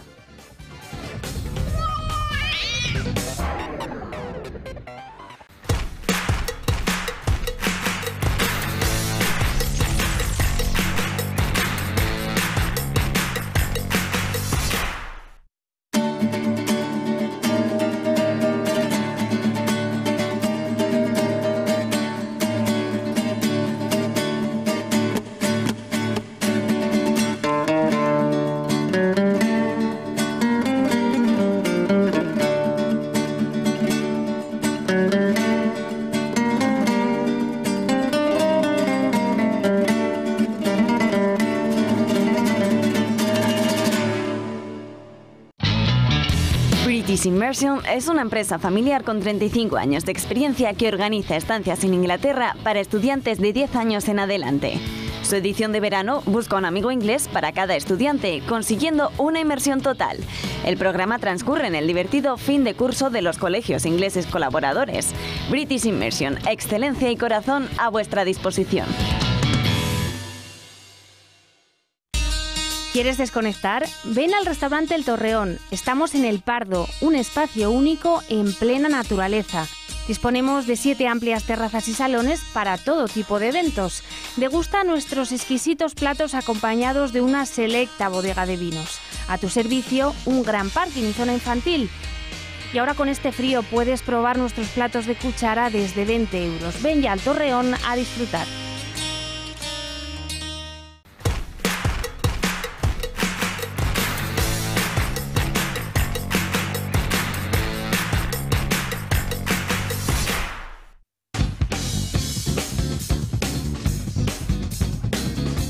...22.41, 20.41 en Canarias. Vamos con el tema memoria, que hay que to- tocarlo más que nada porque ha sido el anuncio y ya vienen apuntando maneras, ¿eh? O sea, lo de ir allí, disfrazarse de, Jill Grissom para ir a retratarse con los huesos, de Sánchez, en fin. El señor Torres, que decía esta mañana esto. El año que viene se cumple 50 años de libertad.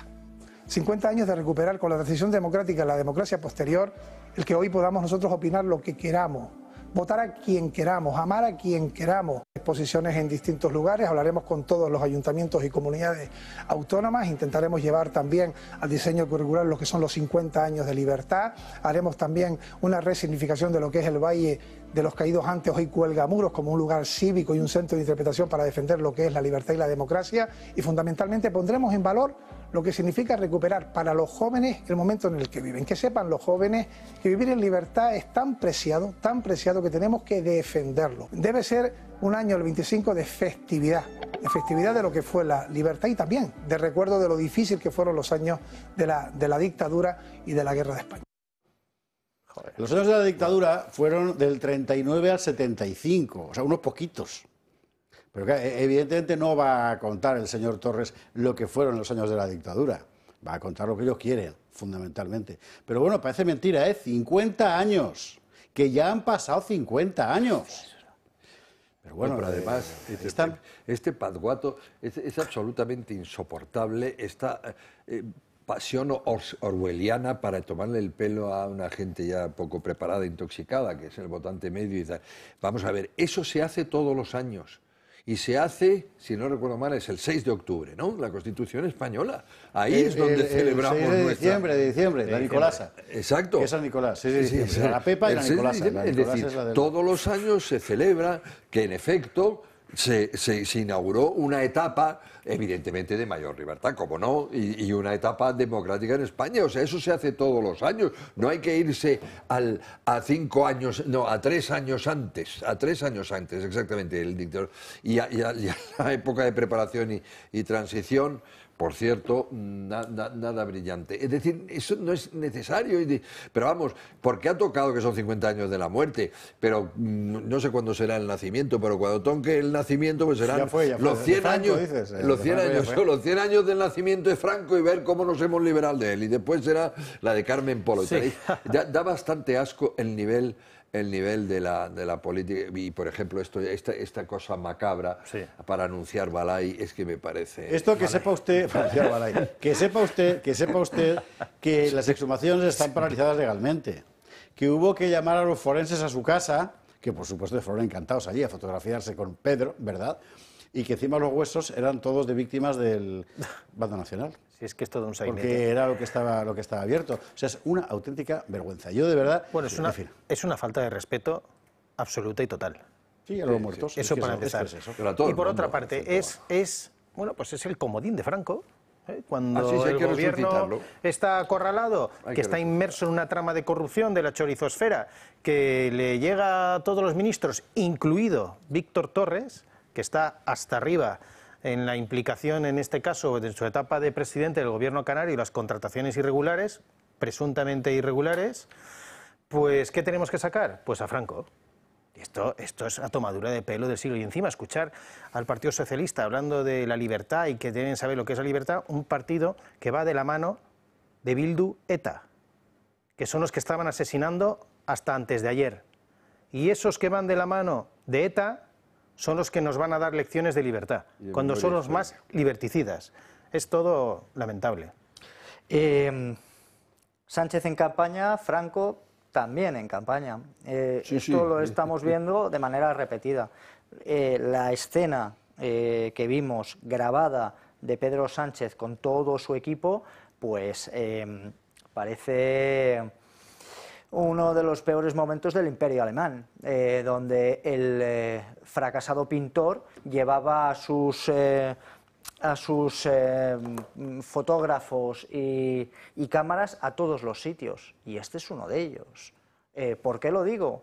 Hombre, aquí tendría que haber entrado primero, para empezar, las propias familias de las personas que, que han Sí, sí, sufrido que ya protestaron, efectivamente. y que no han entrado y que, les, y que primero entra el presidente haciendo un telereportaje y luego, si eso cuando protesten, ya respetaremos a las personas que están ahí implicadas.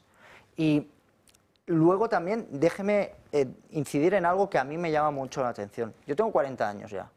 Mañana cumplo, Torres 58. Mañana cumplo So- 40. Torres tiene 58 Solo. años. Muchas felicidades. Solo, fíjese. ¿Verdad que parece mucho? Es que está muy estropeado. pega- Es la- la- Cuídate, eh, que Sí. vaya Ah, pinta. pues la está madre que lo trajo.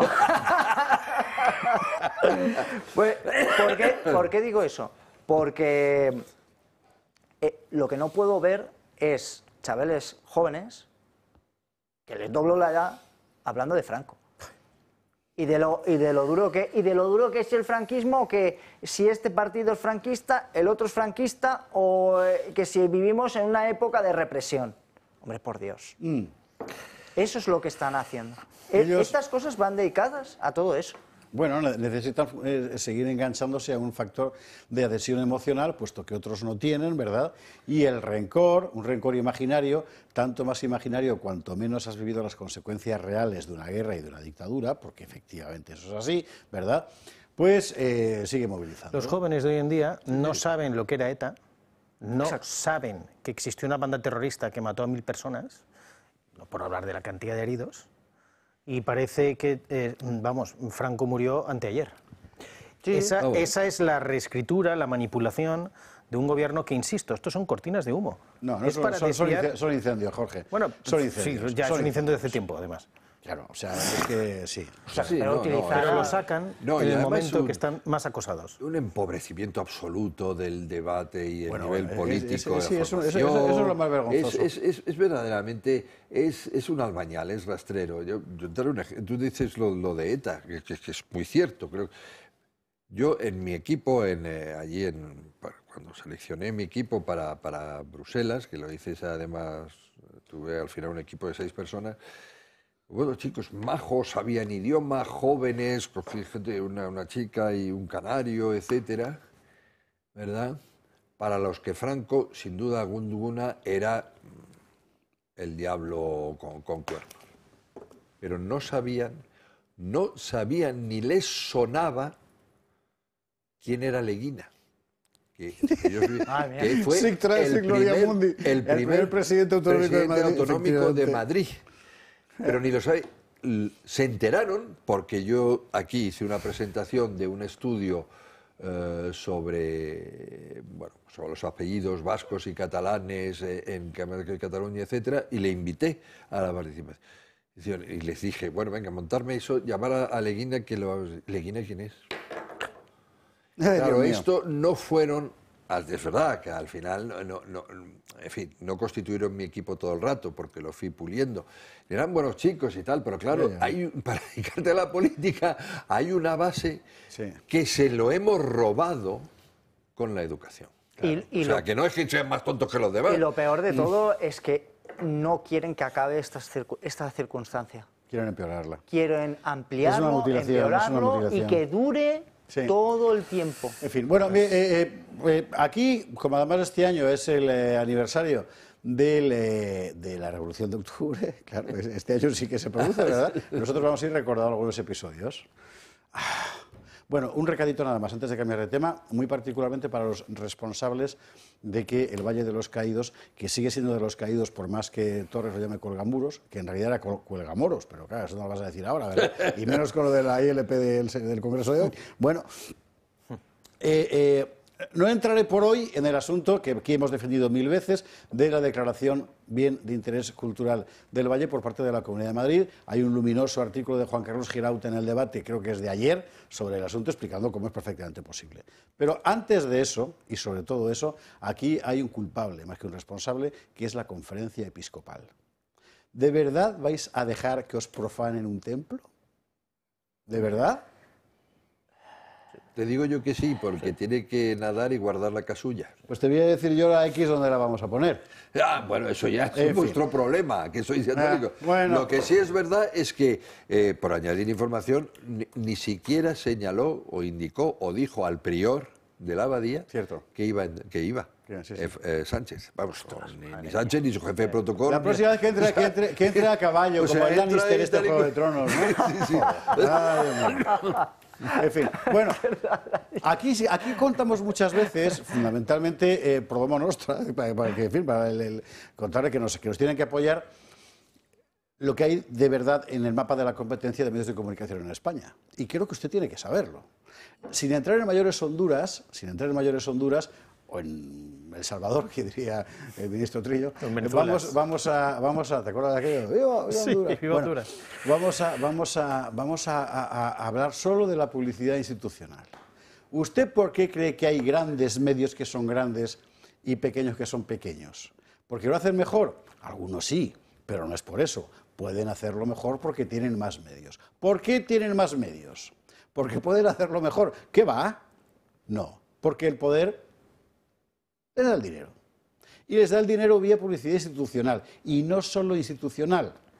Y hay un informe eh, recién publicado que nos ha llamado mucho la atención, porque ah, usted tiene que saber estas cosas. Cómo funciona en España eso que se llama el mapa de la competencia eh, comunicacional. Que yo le puedo asegurar a usted que hace 25 o 30 años no era tan espantoso como hoy.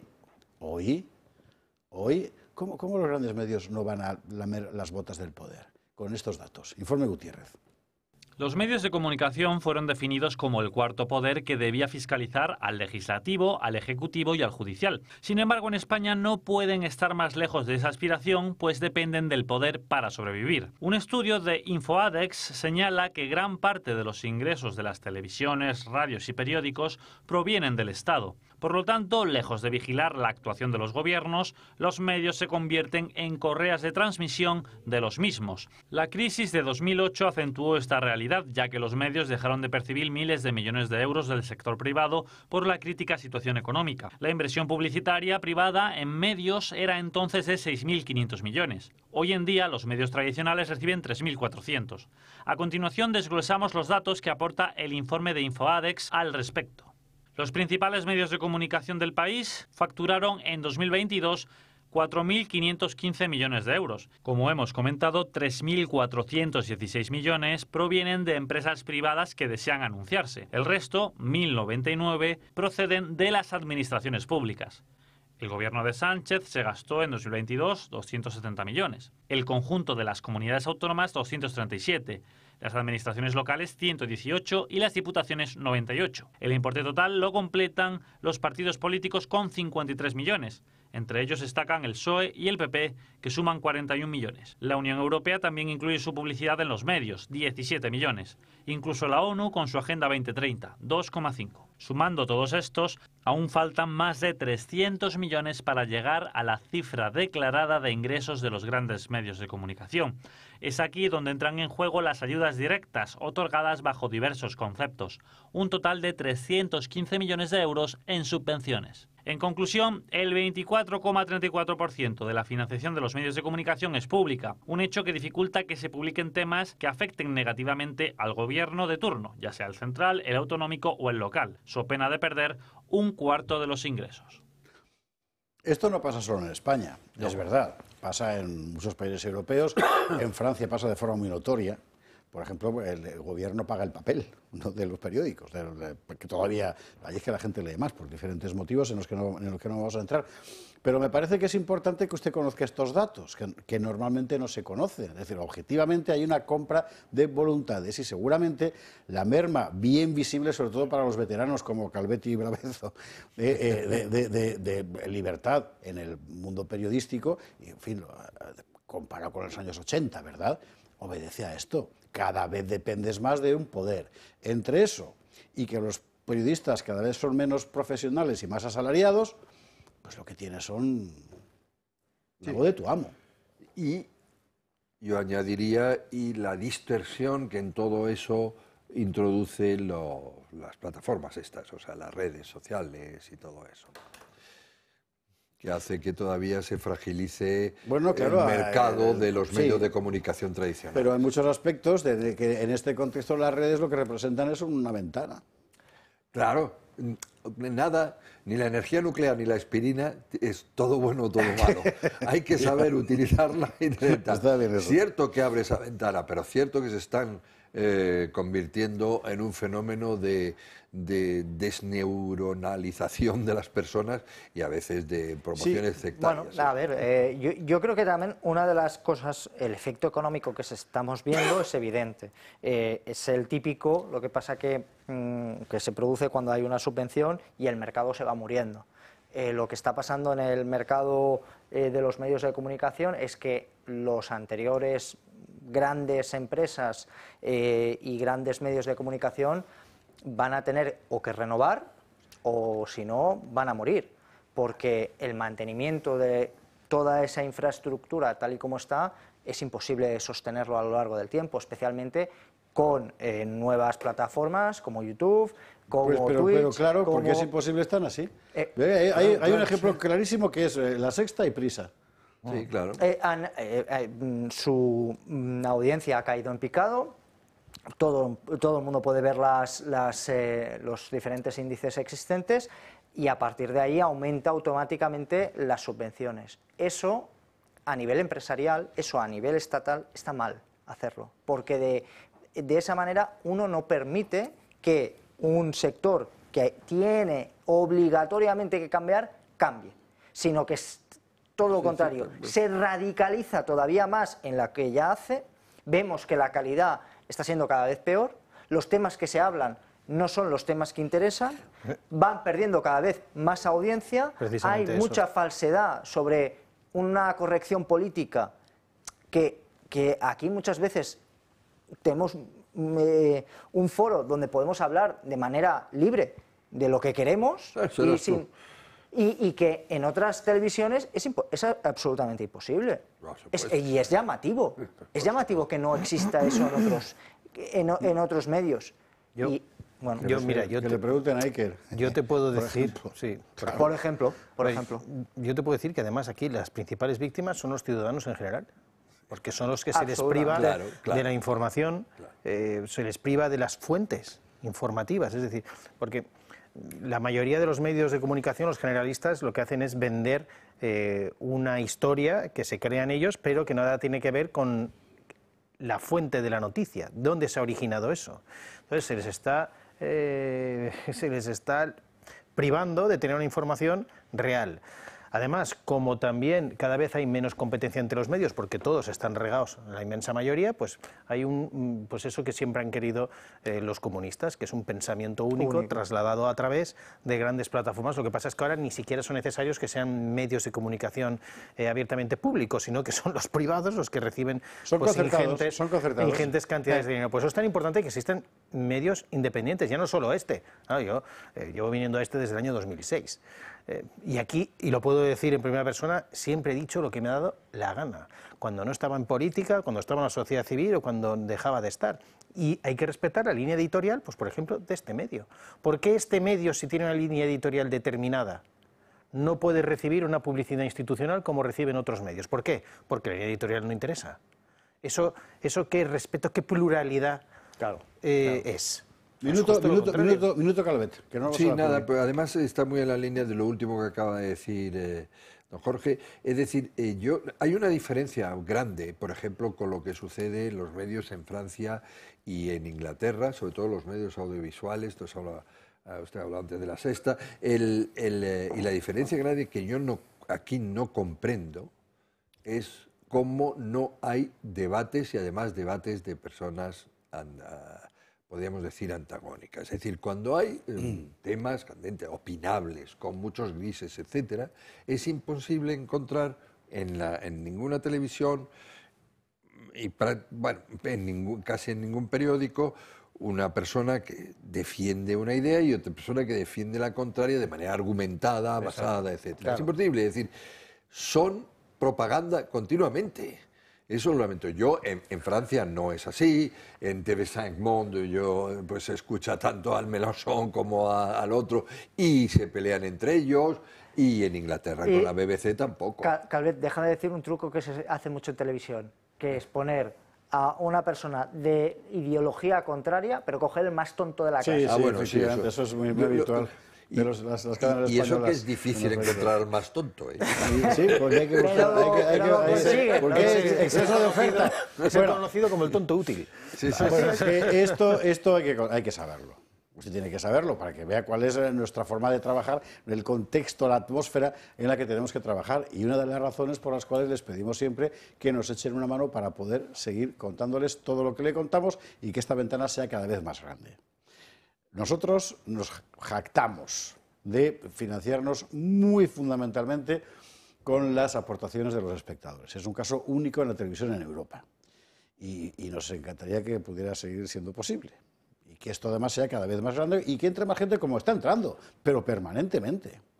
Claro, si la gran, la gran bendición de todo esto es que eh, vemos que no estamos solos por la cantidad de gente que entra continuamente, ¿no? ya sea entrando en el club de amigos con su aportación mensual, ya sea con donaciones esporádicas. Sabe usted además que ahora eh, las, donaciones eh, le suponen a usted una desgravación importante en la declaración de la renta, así que más razón todavía para hacerla, pero lo fundamental es eso, se trata de garantizar que haya medios libres. Este medio que quiere ser libre porque quiere ser su medio. Bueno, vámonos a la publicidad, que hay que hablar de otros libres. Los fiscales que hoy han dado un ejemplo a muchísima gente, sobre todo en el medio periodístico, por cierto. Enseguida lo vemos.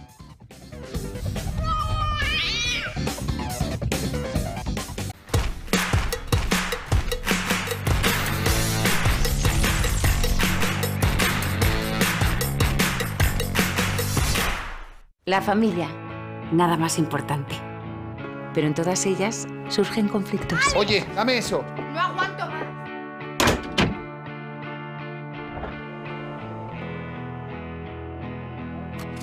Es en estos momentos cuando dos simples palabras hacen magia. ¡A comer!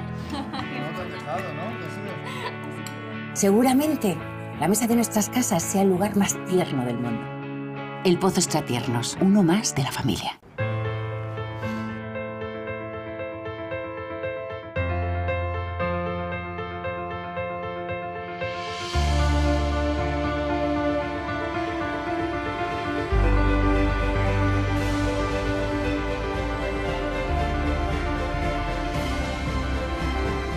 Enseña su carnet de socio del club de amigos, tendrá un 10% de descuento en el total de su factura.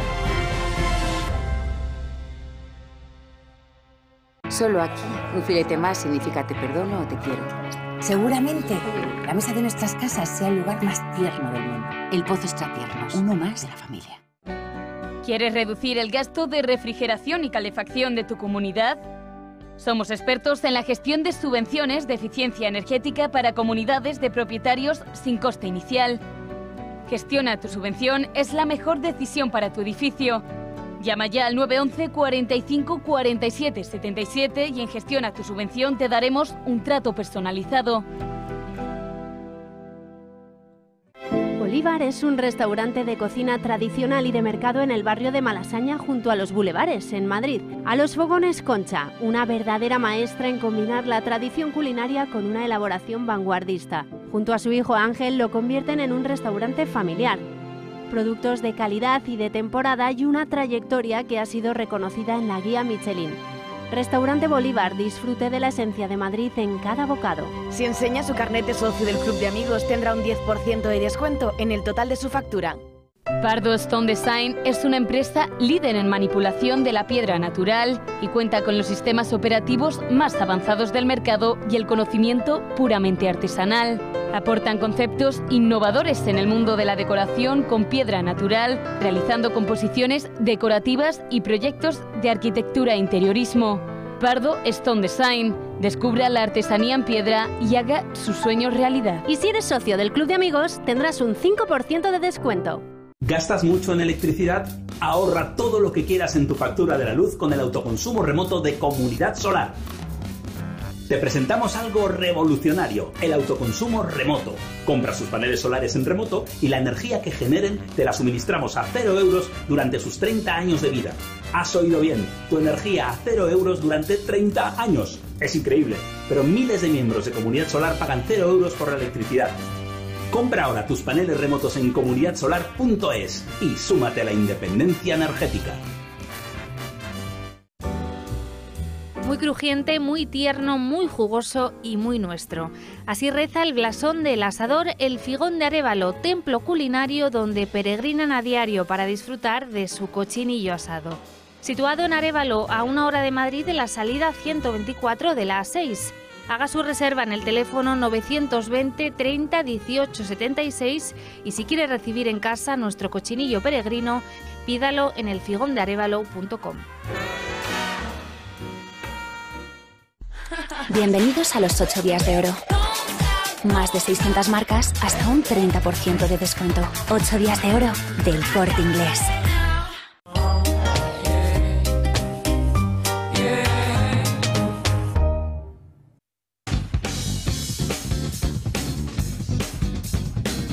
...23.06, 22.06... Ah, Estamos hablando de fútbol, porque el Madrid empató con el Manchester. Bueno, y decía Bravezo que se desconectó del Barça con la porta, que no me extraña. Yo con Así de Carreras, el padre de Francesc de Carreras, que fue presidente del Barça. Sí, en fin. Bueno, 23.07, 22.07 en Canarias, nos vamos a lo que desde mi punto de vista, que como decía Sabater, no veo motivos para calificar de modesto, ¿verdad? Eh, eh, es la noticia del día que es la rebelión de los fiscales, sobre todo por lo que venía de antes y por lo que puede pasar después, porque han dado un ejemplo de pundonor profesional. O sea, la- eh, eh, nos lo cuenta Angelova.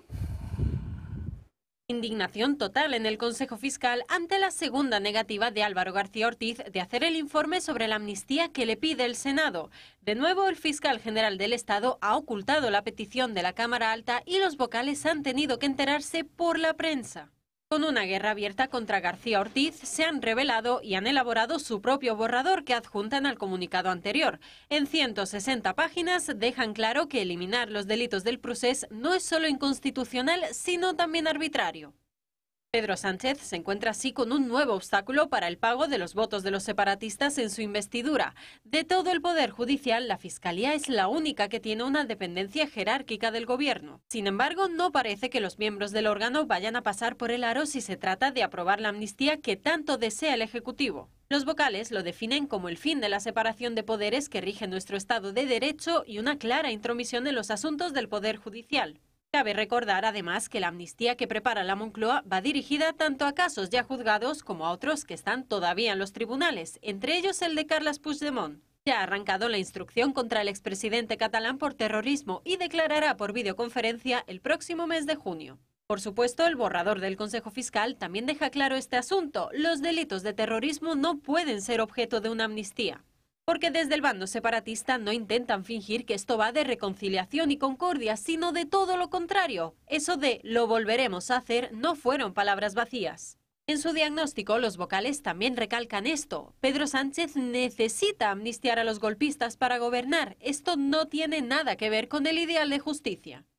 Y es que no es la primera vez que los fiscales muestran su descontento ante unos deseos de Sánchez que chocan directamente con su necesaria imparcialidad. También hemos visto antes cómo la Asociación de Fiscales rechazaba abiertamente la actitud de Álvaro García Ortiz. Pero la presión sobre el presidente del gobierno aumenta y la fiscalía, de la que presumía que tenía el control. ¿La fiscalía de quién depende? ¿De quién depende? Se le está escapando de las manos. La fiscalía de quién depende, pero es que no es verdad. Es que no es verdad. La fiscalía orgánicamente depende, sí, efectivamente, del gobierno. Vale. Pero no quiere decir que dependa moralmente del gobierno que tiene una función muy concreta, subordinada, por supuesto, a la ley y al derecho. Así que los fiscales hacen lo que tienen que hacer y es muy lamentable que el resto de los vocales no se hayan sumado, pero en todo caso lo de estos seis es lo de los 100 justos de Sodoma. Al menos hay seis justos en, la, en el Consejo Fiscal, ¿no? Pero ellos seis componen ¿O son una parte de un organismo? Son una parte del Consejo Fiscal. son, solo una parte. Seis vocales del Consejo Fiscal. O sea, que hay otros que se han opuesto. No que se hayan opuesto, que han aceptado el, no hacer un informe. Ah, que han aceptado no todo esto, todo esto eh, viene cuando el Senado pide informe y el fiscal primero se niega a contárselo y luego se niega a que se haga el informe. que se haga el informe. ¿Cómo me voy a negar si es mi obligación hacerlo? Mm. Claro, ahí estamos. Sí, claro, evidentemente. Eh, bueno, ahí ya nos está diciendo varias cosas. Primero, eh, sí, el Senado ha solicitado em, a los fiscales pues ese informe y que digan realmente qué sucede, que no sé, em, que actualmente tenemos una situación donde eh, Congreso y Senado están en, eh, están en lucha legal. Es increíble, sí, efectivamente.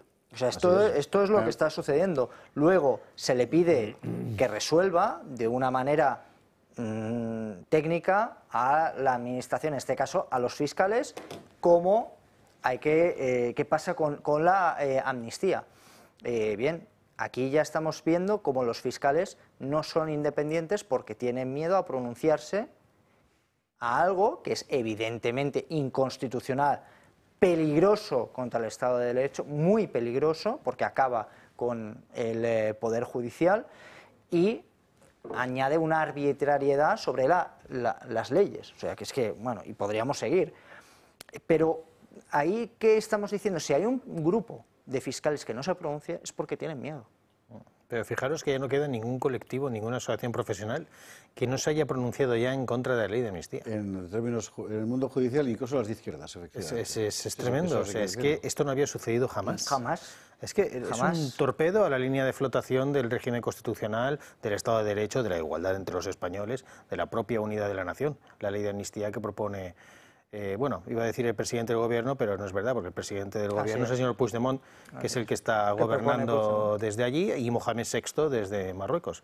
Pero así estamos, en esta situación tan delicada. Lo que pasa es que yo creo que son dos cosas... Eh, eh, distintas, eh, estando de acuerdo con lo que habéis dicho, pero por, matizar. Es decir... Eh, pues llevarnos un poco a la contraria. no, no, no, no, no. Lo, que tú dices de la ley es, absolutamente cierto y, e incluso peor. Es un disparate, es un atentado contra el bien común de los españoles, rompe definitivamente cualquier criterio de igualdad, crea ciudadanos de primera, segunda y tercera, en fin, Es, es, cierto, es un disparate. Otra cosa es que sea constitucional o no, y como en este país Es constitucional lo que diga el Tribunal Bueno, eso es- Constitucional. ese, eh, a ver, sí. Pero, Por eso digo que eso es lo de menos. Pero O no- sea, lo demás es que esa ley se le puede haber ocurrido a alguien. Pero, absolutamente. Y pero, pero nuevamente, también creo que has dado en un punto que me parece muy importante. Yo alguna vez lo, he- lo he comentado aquí. Y es que nosotros tenemos derecho romano. Y tiene sus cosas buenas y sus cosas malas. derecho romano, para que todo el mundo lo entienda, es muy específico con lo que se puede hacer, lo que no se puede hacer, lo que está prohibido, lo que está permitido. Eh, y tiene que estar todo absolutamente arreglado. Sin embargo, el derecho anglosajón, que viene más por la tradición. Y la interpretación forma parte esencial de cómo se toman las normas a partir de lo que ha sucedido. Bueno, España actualmente tiene una visión del derecho romano, pero con una inspiración del derecho anglosajón. Es decir, Una arbitrariedad total del eh, juez. interpretamos las normas, bueno, Claro. porque esto quiere decir, y entonces me agarro porque hay una coma mal puesta Sí, sí. que eh, quiere decir... Oiga, no. Y como además las leyes no siempre están bien redactadas y bien escritas y se abren a sobre todo en España, sobre todo en España, No, en pero sí, España, que en hay, España. sí que hay una cosa que es esencial, que ahí también viene el derecho romano, que es el espíritu de la ley. Y el Claro. espíritu de la ley se rompe cada dos por tres. Yo, yo creo que esta ley ya, incluso desde el punto, ya no solo desde el punto de vista constitucional, solo desde el punto de vista penal, eh, de ahí están las querellas presentadas por, Claro. por Vox, también se puede hacer mucho. Vamos, es que es una auténtica aberración, es que esto es, que esto es una Desde el punto de salvajada. vista penal estoy de acuerdo. Es que claro, eso es una barbaridad. Entonces, mm, vamos, yo confío y nosotros desde luego hacemos todo lo posible para parar esta, esta barbaridad que, que, insisto, afecta a todos los españoles. Ojo, y hay una de las cosas, eh, creo recordar, corregidme si no es así, pero la fecha es, se amnistía hasta el 2011. Sí, sí, lo han retrasado muchísimo. Sí, claro, todo o sea, lo que venga. ojo, que nadie se confunda. Y aún no ha quedado claro si, por ejemplo, entra en la amnistía la familia Puyol. Claro. Eh, Claro, ah, eh, justo eso- eso- iba eso- eso- eso- a ir. eso. Justo No, yo creo que ha quedado a los claro que grandes corruptos del Yo 3%. creo que queda claro que sí que Yo queda creo que queda claro que es sí. una de las Los hijos, por lo que menos. se- es Sí. una de las cosas justamente que se discutía. Ojo, 2011. Sí, Pero bueno, o sea, es que ya en el 12 2011 u- los, los últimos, eh, hasta prácticamente final de año, estaba gobernando el Partido Socialista, ¿eh? Ojito. Una de las, Ojito, porque... una de las bases de cualquier democracia medianamente seria es la separación de poderes. Por supuesto. Y estamos en un momento donde ya este señor, Pedro Sánchez, el autócrata y necrófilo, como hemos visto antes, eh, quiere dominar el legislativo, bueno, ya tiene el ejecutivo, pues también el legislativo y el judicial. ¿Y cuál es la manera de hacerlo? Pues, pues lo estamos viendo. Y eso acaba con una democracia. Entonces- y eso es lo que está haciendo este señor, que es lo más antidemócrata y lo más liberticida que puede existir. En fin, los vocales de- de- en, el, en el Consejo Fiscal, que son de la Asociación de Fiscales, no sé si lo hemos dicho, creo que lo contaban Angelova en el vídeo, eh, nuestro agradecimiento como ciudadanos. Pero lo que estamos esperando es eso. Que alguien con autoridad técnica, como decía Sergio, eh, técnico jurídica, ¿verdad?, eh, defienda lo que es el derecho de todos y la igualdad ante la ley, en fin. Eh, eh, por ejemplo, para Begoña Gómez, que es de lo que vamos a hablar ahora. Por el camino que ha venido Puigdemont diciendo que igual deja la política, mire, yo sinceramente, Exacto. salvo que mis contertulios quieran, no pienso dedicar ni un minuto a Estoy este con señor. usted. Yo solo un comentario, que, de- que deje la política y que vaya a la cárcel. Sí, exactamente. Es decir, ah, lo que importa es que deje la criminalidad. La política no Y Begoña, pues también debería dejar. No, no, no diré, no diré nada. Ahí no- Vamos a ver, no ¿dónde, está. ¿dónde está el asunto ahora mismo? Pues el asunto ahora mismo está en que, como explicábamos ayer aquí, eh, es, es complicado cogerlo, porque desde el punto de vista, eh, ¿cómo decir? De la, cos- de la cosa, es decir, del objeto, el asunto Begoña no está estrictamente vinculado a la trama de las mascarillas, es otra historia distinta pero al mismo tiempo hay suficientes elementos, de sobra, porque son documentales, ¿verdad? Como para concluir que hay por lo menos un evidente conflicto de intereses. Y si la Oficina de Conflictos de Intereses del Gobierno dice que no lo hay, quien tiene un conflicto es la oficina que también debería ser denunciada por esto, porque es muy evidente que la señora del presidente del gobierno recomienda empresas para que reciban fondos que arbitra el señor presidente del gobierno. ¿Qué puede hacer? ¿Qué quiere usted que le diga? Se puede explicar de mil maneras, pero bueno, ¿dónde está ahora la cosa? Eh, En realidad hay un debate dentro del PP. De si la llevan a la comisión, si la llevan a los tribunales, ¿qué van a hacer? Bueno, hoy, hoy la noticia era esta.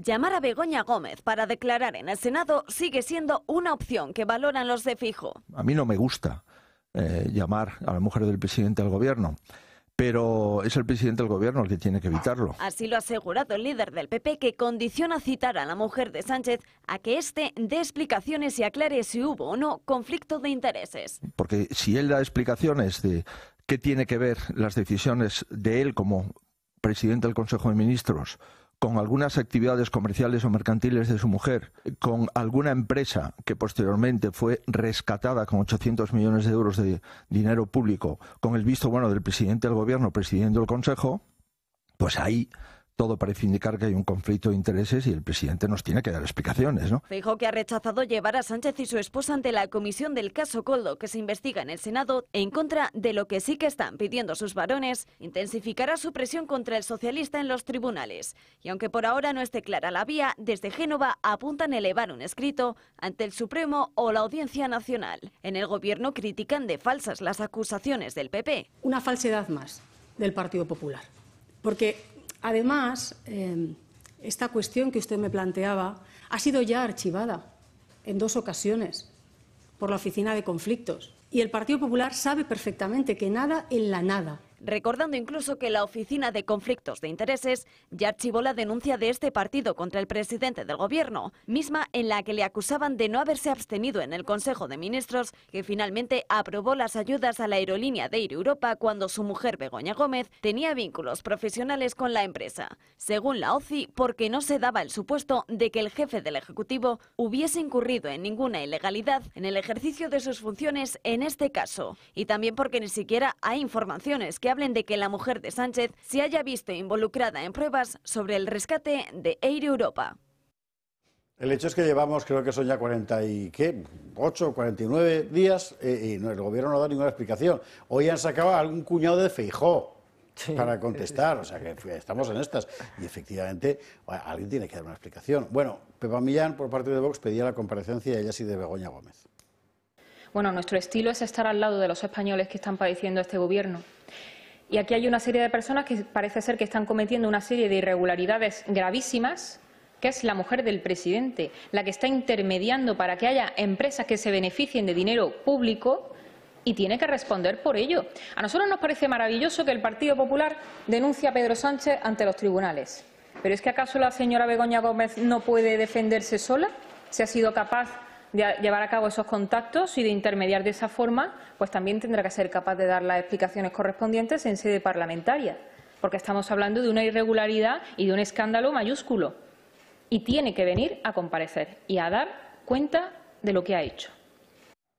La cuestión es que siguen apareciendo. Aquí alguien ha abierto un cajón, ¿eh? es evidente, porque siguen apareciendo todos los días cosas nuevas. Hoy, Sánchez adjudicó fondos de la Unión Europea. ¿eh? 349.000 y pico euros a la empresa recomendada por su mujer siete días antes de estallar a Tramacoldo, porque claro, la, máquina seguía. La máquina seguía. No solo esto, sino que también la Universidad Complutense de Madrid, lo vemos, lo vemos ahora, ¿verdad?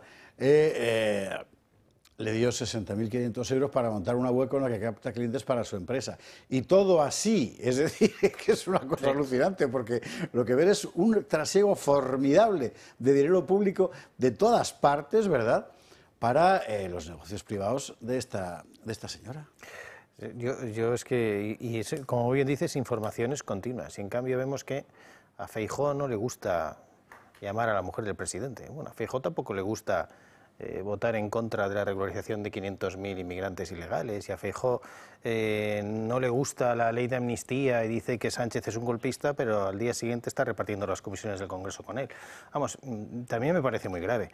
Yo creo que ante tamaña trama de corrupción eh, en donde están implicados la mayoría de ministros, cargos socialistas y evidentemente, como estamos viendo, la implicación de la mujer del presidente es clarísima, yo creo que eh, hay que llamarles eh, a declarar y que comparezcan. Que, por cierto, y aprovecho para, no sé si lo sabíais, la comisión eh, del Congreso se celebrará, su primera sesión la celebraremos el próximo martes 16 a las 11 de la mañana y nosotros no tenemos ningún problema en solicitar la comparecencia de la señora Begoña Gómez, como muy bien ha dicho Pepa Millán, porque es que es evidente que está también implicada en esta trama. Sergio, ¿cómo lo ves? Yo ahí, a ver, sobre llamar a, a Begoña Gómez, creo que hay que hacerlo en el momento adecuado. Hay una de las cosas que eh, a mí me parece que están haciendo una buena estrategia de llamar a comparecientes y me imagino, no he hablado con él, pero me imagino quién estará detrás de esa, de esa actuación.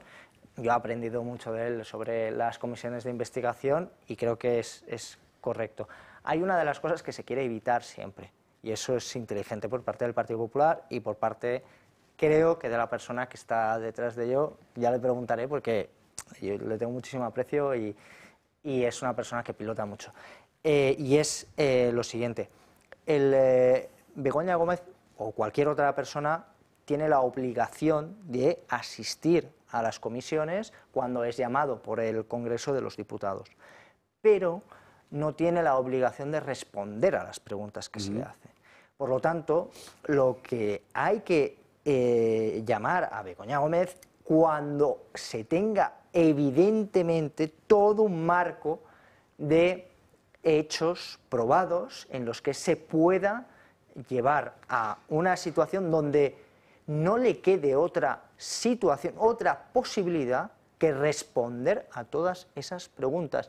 Y en el caso de que no lo haga, le delate por esas Yo contradicciones. eso lo entiendo y de hecho me imagino que a eso responde la, la- la estrategia de sí citar a los que han tenido negocios con ella, pues el, el- Eh, Hidalgo, y compañía, ¿verdad? Para que cuando la llames a ella, porque tienes la posibilidad de seguir llamando gente, se vea obligada a responder. Ojo. Lo que pasa es que es muy difícil. Las cosas que hay que explicar mucho. Eh, yo, José Javier, perdona que, que te rectifique. La posibilidad de ir llamando gente eh, dependerá del pleno de la comisión de investigación. Eh, hay que entregar unos planes de trabajo donde se incluyen las listas de comparecientes, informes, solicitudes de documentación, pero después el pleno de esa comisión tendrá que decidir si se puede seguir llamando o no. Y yo solo recuerdo, y yo quiero recordar, que esta comisión de investigación, la mayoría la tiene el Partido Socialista y la izquierda. Claro, es que- Así es- que, es que que ojo, hablamos- bueno, es que es que es lo que dijimos nosotros cuando Sí, se, que es- cuando se, estoy con- se- No, no, se- continúa, continúa, por se favor. constituyó esta comisión, que al final es un, un- podemos caer y esperemos que no, pero todos los indicios nos llevan ahí en un paripé entre el Partido Socialista sobre todo y el Partido Popular en haber en haber en haber en el Senado y en el Congreso cómo hacemos una una especie de contracomisión para lo que podemos hacer aquí, no hagamos allá, aquí no puedes eh, aportar más comparecientes, aquí sí, bueno, pues el que no me dejaste aquí y al final no, se- no- pero al final lo que se trata, que es de resolver o intentar identificar dónde está la verdad y quiénes son eh, los que en- realmente han metido la mano en el cajón, que por lo que se está publicando y lo que ahora mismo José Javier Esparza acaba de, de proyectar en la pantalla a través de esos medios de comunicación, ahí están los informes de los expedientes de la Guardia Civil y de los que están en los juzgados. Entonces, si además Begoña Gómez está saliendo en todos estos papeles, pues digo yo que, que menos que, que- que venga a declarar. Pero ojo, si no se le incluye ahora, puede que después no puedas hacerlo. En el, en el Senado, sí.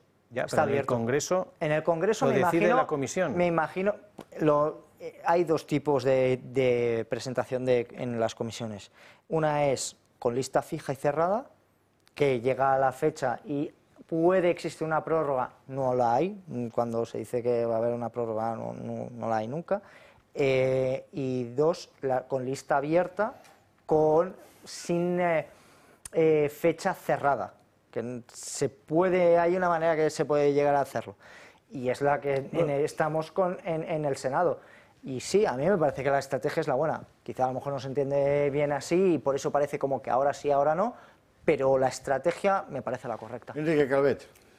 Yo que soy muy alérgico a los comités de salud pública, los tribunales del pueblo y los linchamientos y todo eso, soy muy cauto en eso y entonces prefiero, prefiero, entiendo que la política eh, tiene sus lados oscuros y hay que bajar al barro muchas veces, pero prefiero la intervención de la judicatura y los jueces claro. antes de llegar a eso. Entonces, si como decía don Sergio, aquí mm, bueno, hay una serie de hechos probados y todo eso, que ya justifican, bueno, pues primero los lleva usted y los denuncia.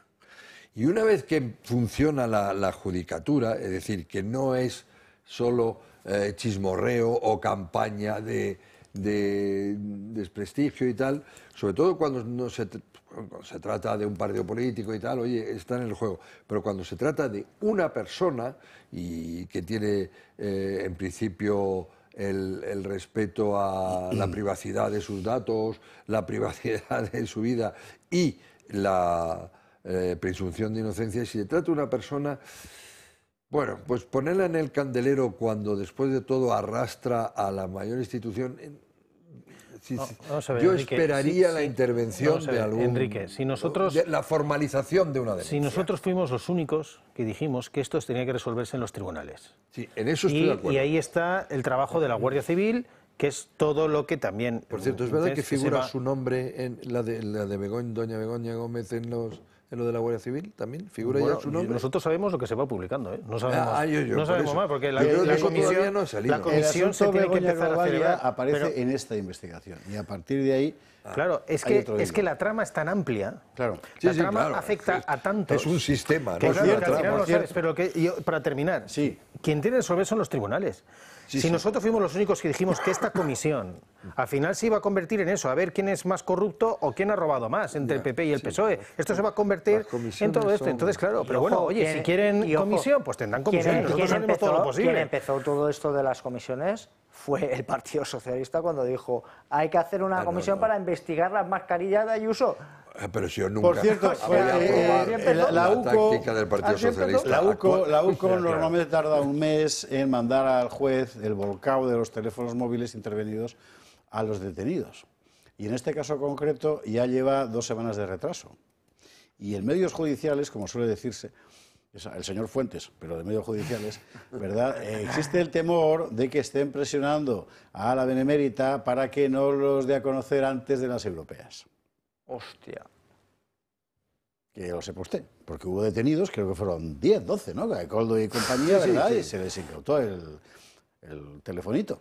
En fin, a ver lo que da de sí la. y, y déjeme decir eh, que estamos hablando de- del tema sin comentarlo. Es una verdadera vergüenza todo este, eh, este proceso.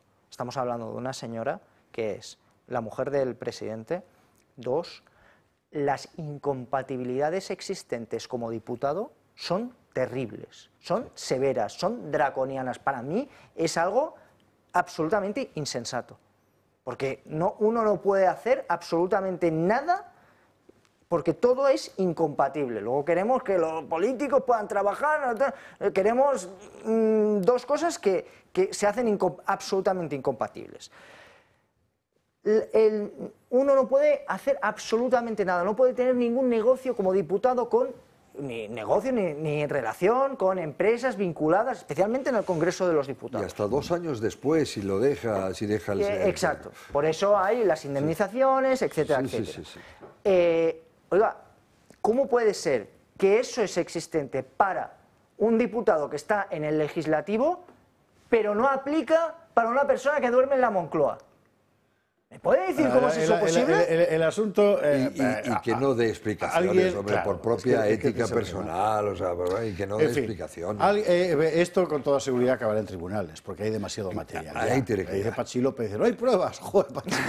¿Será, que, ¿Será que se te ha olvidado leer? Begoña Sí, Fundraiser. Es que vamos, madre mía. Arroba. Fundraiser, Bueno, es que- vamos a ver una, una- una buena noticia. Una buena noticia que tiene por protagonistas a Vox y a PP, mayormente Vox, que es el que lleva la iniciativa, una proposición no de ley. Aprobada en el Congreso. Mire usted por dónde. Una proposición no de ley de la derecha. ¿Por qué se ha aprobado? Ahora veremos eh, el, el- el, eh, misterio del, del asunto. Para que se pueda hablar español en toda España. o sea, de verdad da vergüenza decirlo, pero el tema es importantísimo. ¿Quién lo defendía? Jorge Campos. Así habló Jorge Campos. Lo que es algo inconcebible es que en estos momentos pues haya alrededor de un tercio de la población española, las que los que viven en las comunidades autónomas eh, bilingües, eh, que no pueden, por ejemplo, escolarizar a sus hijos en la lengua oficial del Estado, el español, si esta es su lengua materna. Es algo insólito también que un español que vive aquí mismo, en Madrid, eh, si quiere opositar a cualquier cuerpo de la función pública, por ejemplo, en Cataluña, pues se le va a exigir un determinado certificado eh, de la lengua catalana. En cambio, al revés, no se le va a exigir. Eh, lo que se requiere es que se garanticen los derechos de los hablantes de todas las lenguas eh, que se hablan en España, pero en esos territorios bilingües. Y lo que se intenta por parte de esos partidos separatistas es dar el carácter de lengua nacional a lo que son lenguas regionales, con esa idea de ir construyendo pues naciones que no han existido nunca el tema es muy serio. Eh, venimos de leer que en Guipúzcoa que dos niñas, creo que de origen hispanoamericano, que no han podido ser escolarizadas porque no tienen dónde estudiar, porque la administración les niega ese derecho, que es un derecho suyo. Que es un derecho suyo. Bueno, la cosa consiste en que esta vez el PP se ha sumado a esta, a esta, a esta, PNL, proposición de ley, que luego explicamos lo que significa técnicamente. Entonces, ha habido una enmienda transaccional que eh, Vox ha aceptado. Y, la, PNL, firmada por ambos dos, Vox y Partido Popular, ha sido aprobada con el voto en contra del PSOE, por supuesto, y de los separatistas. ¿Y cómo es posible que siendo minoría haya salido adelante? Pues ha salido adelante porque los señores de Junts, de Bildu y de Esquerra Republicana se han ido. Entonces debo ocasionar ciertas alergias a los separatistas. Ya me pasa con Armengol que no, coincido, que no coincido con ella en el Congreso cuando voy a hablar, y realmente es que no sabemos, pero se han ido. Entonces, claro, ha llegado el momento de la votación, y evidentemente como no estaban, eh, pues claro, pues la mayoría del PP y Vox pues ha sacado adelante esta proposición no de ley. Es una proposición de ley que eh, es propuesta por Vox. El Partido Popular había registrado eh, una enmienda y al final nosotros le hemos propuesto una enmienda transaccional al PP que ha aceptado. ¿eh? El Partido Socialista y Sumar, la izquierda, ha votado en contra. Y como decías, es un tema importante. Y es tan importante como que actualmente no tendríamos el desafío separatista que tenemos si no fuera por lo que se ha hecho con las lenguas regionales. La utilización política para separarnos unos y otros que se ha hecho de las lenguas regionales es lo que nos ha llevado a la actual situación si no se hubiera consentido las barbaridades que se han hecho, la discriminación de los hispanohablantes en Galicia, en el País Vasco, en Navarra, en Cataluña, en Valencia y en Baleares, no estaríamos ahora como estamos. Y lo que proponía esta proposición, lo digo para que la gente lo sepa, sobre todo esos que aún se creen, como decía hoy algún diputado socialista, y sobre todo del PSC, de cara a estas elecciones catalanas, que decían, nosotros no somos independentistas. Bueno, pues el Partido Socialista que dice que no es independentista ha votado en contra de que se cumpla, punto uno, que se cumpla la doctrina del Tribunal Constitucional en materia lingüística, garantizando el derecho al uso en español en todo el territorio nacional. El PSOE ha votado en contra. Punto dos.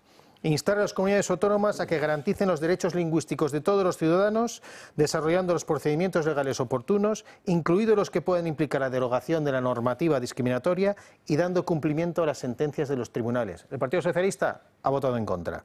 Promover las actuaciones necesarias para evitar discriminación lingüística. Ha votado en contra.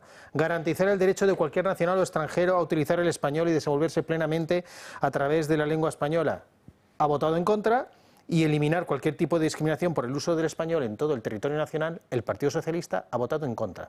El Partido Socialista que se presenta a las elecciones en Cataluña, donde se ha arrinconado y se ha practicado un apartheid lingüístico desde que gobierna tanto los nacionalistas como el Partido Socialista. Da lo mismo. Entonces, es grave la cuestión, pero hoy es verdad que hemos, eh, bueno, pues, pues, hemos conseguido un hito, que es la primera vez que se aprueba una proposición para que se pueda garantizar el español, toda, el español en toda España, que sí, es absurdo, es ridículo, pero hay que recordar que hay un tercio de la población, aproximadamente, de la población española, que no puede escolarizar a sus hijos en la lengua oficial del Estado.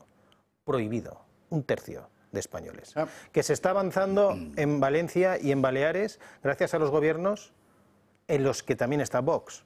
Porque siento decirlo, Sergio, porque estás aquí presente. Si Vox no está en los gobiernos o no propone este tipo de iniciativas, el Partido Popular no hace absolutamente nada. Entonces, que se esté consiguiendo esto, pues es una grandísima noticia. Que hay que eliminar las barreras, ya no solo en el tema educativo, sino también en el acceso a administración pública. ¿eh? Porque tenemos españoles también de primera y de segunda, como decía antes Enrique, en el tema lingüístico. Un señor que ahora nos está viendo aquí, que está viendo el programa en Madrid, si se quiere ir a trabajar en la función pública en Cataluña, le van a exigir un certificado C de catalán. Pero el señor catalán de Cataluña que viene a venir aquí no, No, le van a exigir ningún certificado. Y no va a poder eh, hacer uso de la libre circulación de personas a través del propio territorio nacional porque hay una barrera lingüística. Con lo cual, esto que se ha aprobado hoy lo que pretende es acabar con esta aberración y, pues, de alguna manera intentar esa unidad que los partidos separatistas y el Partido Socialista pues quiere instaurar en toda España, incluso en el propio Congreso, como hemos visto también lo que están haciendo con las lenguas cooficiales allí en el Congreso. En el, en el tema lingüístico ha sido uno de tus caballos de batalla, además, Sergio, en Sí, hombre. tu evidente- trayectoria. Eh, evidentemente, porque eh, en, Cataluña pues, ha sucedido- claro. claro, en Cataluña pues eh, sufrimos también esa problemática y, y es un uso que se hace de la lengua para dividir, para dañar, para señalar a las personas. Y eso tiene que finalizar y es muy duro. Sí, como comentaba eh, cuando tenemos una lengua que se utiliza como barrera para que nadie pueda entrar en tu cortijo, ya sea la administración, ya sea la política o ya sea incluso algún círculo empresarial. Eh, eso O ya conlleva... sea un hospital. Eh, claro, eso conlleva a que eh, no estemos hablando antes de una manera clara que eh, existe pues ciudadanos de primera, de segunda, etcétera. Bueno, eso lo hemos podido ver en diferentes sociedades que tienen diferentes lenguas y que han sido las lenguas utilizadas como cortijos y como barreras de entrada a esos colectivos. De tal manera que tenemos una eh, ciudadanía por castas absolutamente por castas. Y lo hemos visto. O sea, eh, le podemos decir y podemos hablar que quién representa la CUP. La CUP representa los hijos de los niños mimados de CIU. Es que es, es- es lo, lo que pasa. Todos los currículums y de todos los apellidos que uno ve, pues vienen de, eh, de gente eh, de Oasis catalán, de la cuna catalana y que no la se Seva. quieren. Exacto. Sí, de la Seba, de la, la Seba, Seva, sí, sí. eh, que era la nostra antes, pero eh, y, y eso y eso ha sido pues muy doloroso eh, porque al final lo que hace es que mucha gente en, esa- en esos territorios que son españoles se sienten solos, se sienten que no son comprendidos, se sienten apartados y además lo vemos identificado en las votaciones. Ahora tenemos elecciones en Cataluña, por ejemplo, y cuando comparamos el nivel de participación que hay en Cataluña con el que hay en la Comunidad de Madrid, uno, Madrid es más del 80% de la población va a votar, en Cataluña supera escasamente el 50%, 52 en las últimas. Pues casi 30 puntos Pues de diferencia. Eh, eh, eh, un, día tengo que hablarles del sistema de castas de Corea del Norte, que es una sociedad est- est- estratificada en castas, en función de la mayor o menor fidelidad política al régimen y del propio origen personal y familiar. Es una cosa alucinante, pero eso se lo contaré otro día, Perdona, si eh, no mira Cataluña. ¿Sabes lo que ha pasado con el Partido Socialista en esta comisión? Que claro, ellos estaban convencidos de que iban a ganar, es decir, que iban a Con el tumbar, apoyo de los- iban a tumbar esto con el apoyo de los de los separatistas. delincuentes, Entonces sí. ha salido una señora que no recuerdo el nombre, diputada del Partido Socialista, y nos ha hecho eh, a los miembros de Vox en la comisión, mi compañero Emilio del Valle y Karina Mejías, Karina Mejías que además también ha luchado lo suyo en, Cataluña Sí, contra el apartheid lingüístico. tuvimos aquí a y desde aquí mi saludo a Karina. Eh, bueno, pues la señora del Partido Socialista nos ha hecho pues, una lección de que nosotros, ojo, eh, nosotros, los que defendemos la libertad de poder elegir en los territorios bilingües y que puedan elegir libremente entre las dos lenguas y garantizar que la lengua oficial del Estado esté presente en- y puedas acceder a ella en toda España, nos ha dicho que éramos unas- unos ultras, unos represores y que no entendíamos lo que era el plurilingüismo en Ya. España. Entonces, después de darnos esta disertación, pues ha sido muy bueno porque se ha aprobado la PNL. Y, En fin. y deja muy claro, y deja muy claro, no es por nada, ¿eh? pero deja muy claro lo que le importa a Junts, a Esquerra Republicana, al PNV, a eh, lo que sucede en el resto de España. Sí, eso es- es- absolutamente nada. Ellos van a hacer su cortijo y ya Ni está. las leyes que les podrían afectar. pasan Hay que de decir que una PNL es una proposición no de ley que lo que hace es instar al gobierno a tomar una serie de decisiones, que luego el gobierno normalmente se pasará por el arco de Barán, en este caso.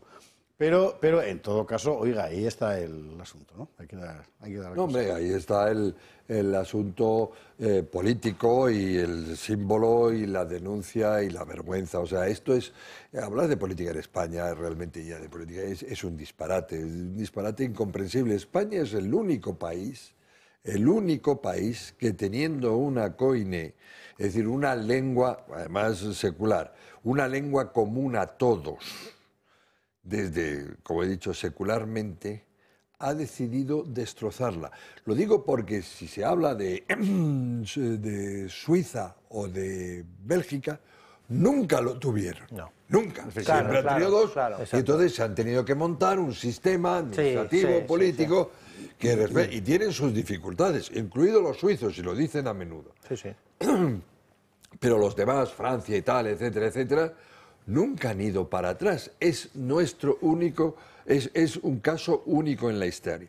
Es destructivo, evidentemente nos empobrece, nos empobrece espiritual y eh, sobre todo económicamente, con las barreras y todo eso, pero es que además es profundamente antidemocrático porque se está haciendo a base, como se ve muy bien por la proposición de ley, de no respetar las leyes y las sentencias de los tribunales. Sí, absolutamente. O sea, Es así. se rompe el propio concepto de democracia y de Estado de Derecho. Señores, a la que una tenemos que lengua que muy compartimos con importante, que es la comida. 600 Ahora le- millones de personas.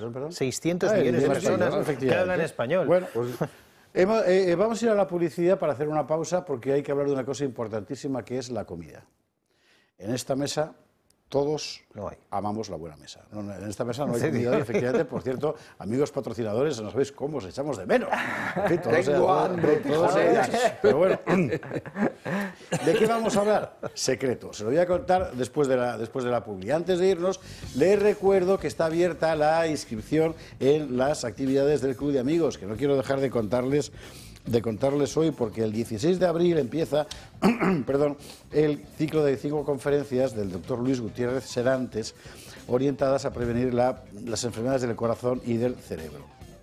La primera sesión, tanto presencial como online, está dedicada al colesterol y a la arteriosclerosis. A ser martes 16 de abril. Empezamos presencial o Zoom. En cualquiera de los dos casos hay que llamar por teléfono para reservar. Y el 18 de abril por la mañana tenemos un paseo por Madrid con Mar Cristóbal para eh, recorrer los lugares relacionados con el 2 de mayo, con el levantamiento del 2 de mayo, que, que la verdad es que vale la pena pasearlo porque son sitios con muchísimo, muchísimo eh, sabor.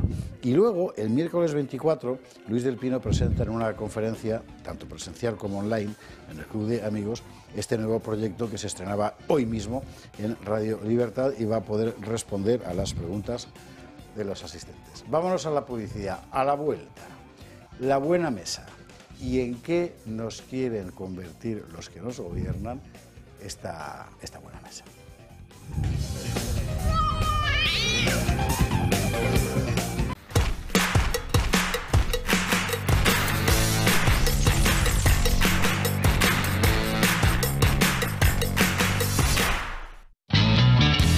British Immersion es una empresa familiar con 35 años de experiencia que organiza estancias en Inglaterra para estudiantes de 10 años en adelante.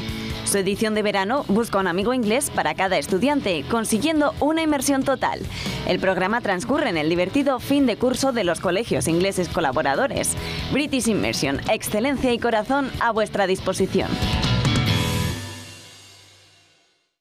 Desde 1958, la marisquería Rafa en Madrid se ha caracterizado por la primera calidad de sus productos, entre los que puede encontrar guisos, carnes de primera calidad, pescados y los mejores mariscos de nuestras costas. Todo elaborado a base de recetas tradicionales.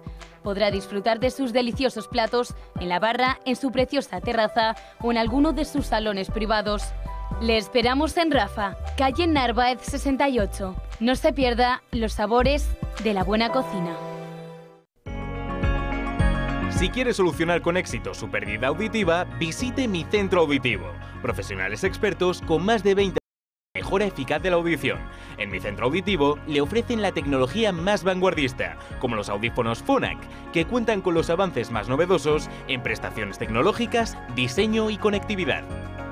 Reserve su cita y disfrute de un mayor bienestar con una mejor audición. Dolores lumbares o cervicales afectan tu día a día? Descubre la solución perfecta en Centro DAX, la descompresión axial vertebral. Tratamiento sin cirugía con profesionales certificados SpineMed. Evita 3 de cada 4 cirugías de columna gracias a esta tecnología innovadora. Formamos parte de una gama de servicios integrales, incluyendo especialidades médicas, fisioestética, fisioterapia avanzada y pilates 3D. Con más de 7.000 pacientes tratados con éxito desde 2007, ofrecemos seguridad y evolución constante. Centro DAX, en salud y líderes en tu bienestar. ¿Quieres desconectar? Ven al restaurante El Torreón. Estamos en El Pardo, un espacio único en plena naturaleza. Disponemos de siete amplias terrazas y salones para todo tipo de eventos. Degusta nuestros exquisitos platos acompañados de una selecta bodega de vinos. A tu servicio, un gran parking y zona infantil. Y ahora con este frío puedes probar nuestros platos de cuchara desde 20 euros. Ven ya al Torreón a disfrutar. Muy crujiente, muy tierno, muy jugoso y muy nuestro. Así reza el blasón del asador El Figón de Arevalo, templo culinario donde peregrinan a diario para disfrutar de su cochinillo asado. Situado en Arevalo, a una hora de Madrid, en la salida 124 de la A6. Haga su reserva en el teléfono 920 30 18 76 y si quiere recibir en casa nuestro cochinillo peregrino, pídalo en elfigondearevalo.com.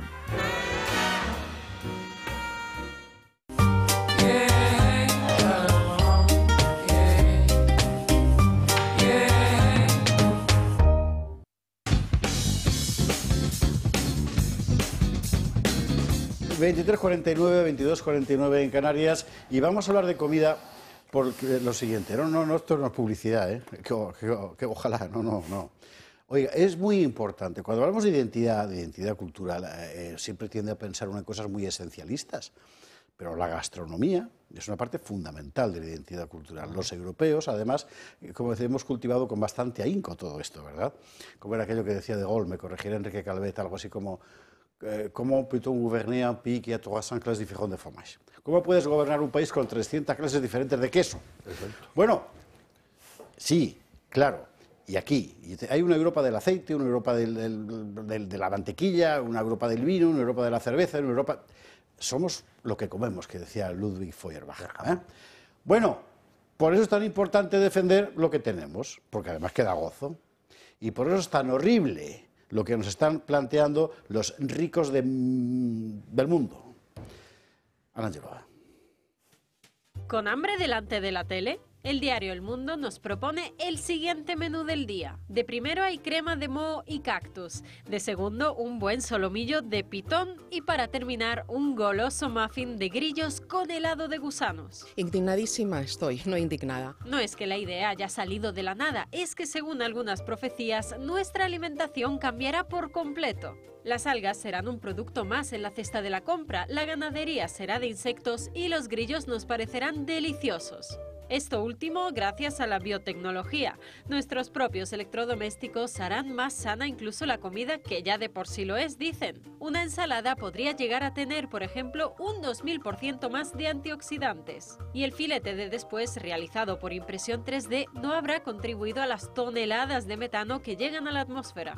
En 2050 habrá 9.700 millones de personas en el planeta y se necesitará un 70% más de alimentos. Para sacar tantísima proteína, ya saben.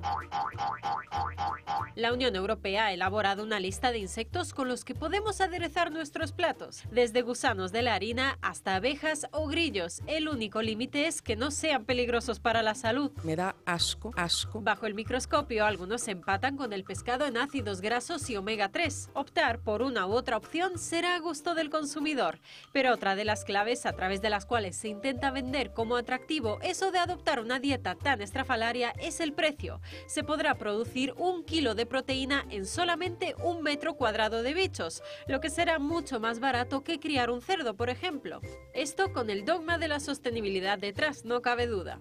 Y si se ha quedado con el segundo plato de nuestro menú del inicio, el solomillo de pitón, le desvelamos lo que hay detrás del manjar.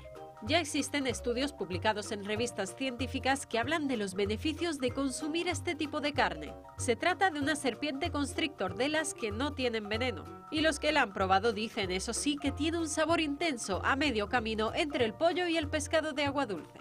El Toro Televisión ha podido comprobar de primera mano la entrada de este tipo de alimentos a nuestros supermercados. En la zona de alimentación para deportistas de una conocida cadena podemos encontrar a día de hoy ya snacks de larvas o grillos con sal o más elaborado, con sabor a pizza. No sabemos si el presidente del gobierno se sumará a la alimentación más healthy. Yo os lo diré en términos muy personales. A mí, donde me pongan un chuletón al punto, eso es imbatible. Pero según se está empleando el avance bio en la alimentación, en apenas un par de décadas no nos sonará desconocido eso de hacer jamón ibérico con proteína de hongos. La pregunta entonces sobre la tortilla de patatas podría no ser si la preferimos con o sin cebolla, Con cebolla. Mucha cebolla. sino si nos gusta más con hormigas o con moscas. Pues esto que parece una extravagancia, no. Resulta que no lo es. Vivimos en una civilización enteramente tecnocrática donde los políticos, o lo que sean, porque políticos ya no son, ¿verdad?, se atribuyen funciones de organización y regulación de la vida individual perfectamente absurdas y tienen que llegar hasta este tipo de cosas. En nombre, por supuesto, de salvar el planeta, nos van a arruinar. ¿Pero dónde, Oye, perdón, pero- pero dónde, es, dónde, es- dónde es- han es hecho un eso? elemento cultural absolutamente fundamental. ¿Pero dónde han hecho eso? ¿Dónde, dónde- Ahí, ahí te lo está contando Angelova, pero estamos, estamos en, en- en ese mundo. Todas las agencias internacionales están recomendando ese tipo de cosas. Que comamos eh, gusanos y tal. Sí, Bueno, señor. para decir, lo de los gusanos es una cosa muy antigua y se come desde hace mucho tiempo y sobre todo se ha comido y hay reportajes que a mí me marcaron incluso cuando era adolescente de la hambruna que provocó Stalin en, en Ucrania, en Ucrania donde la gente estaba buscando en la manecilla y tal, en la hierba, gusanos para comer.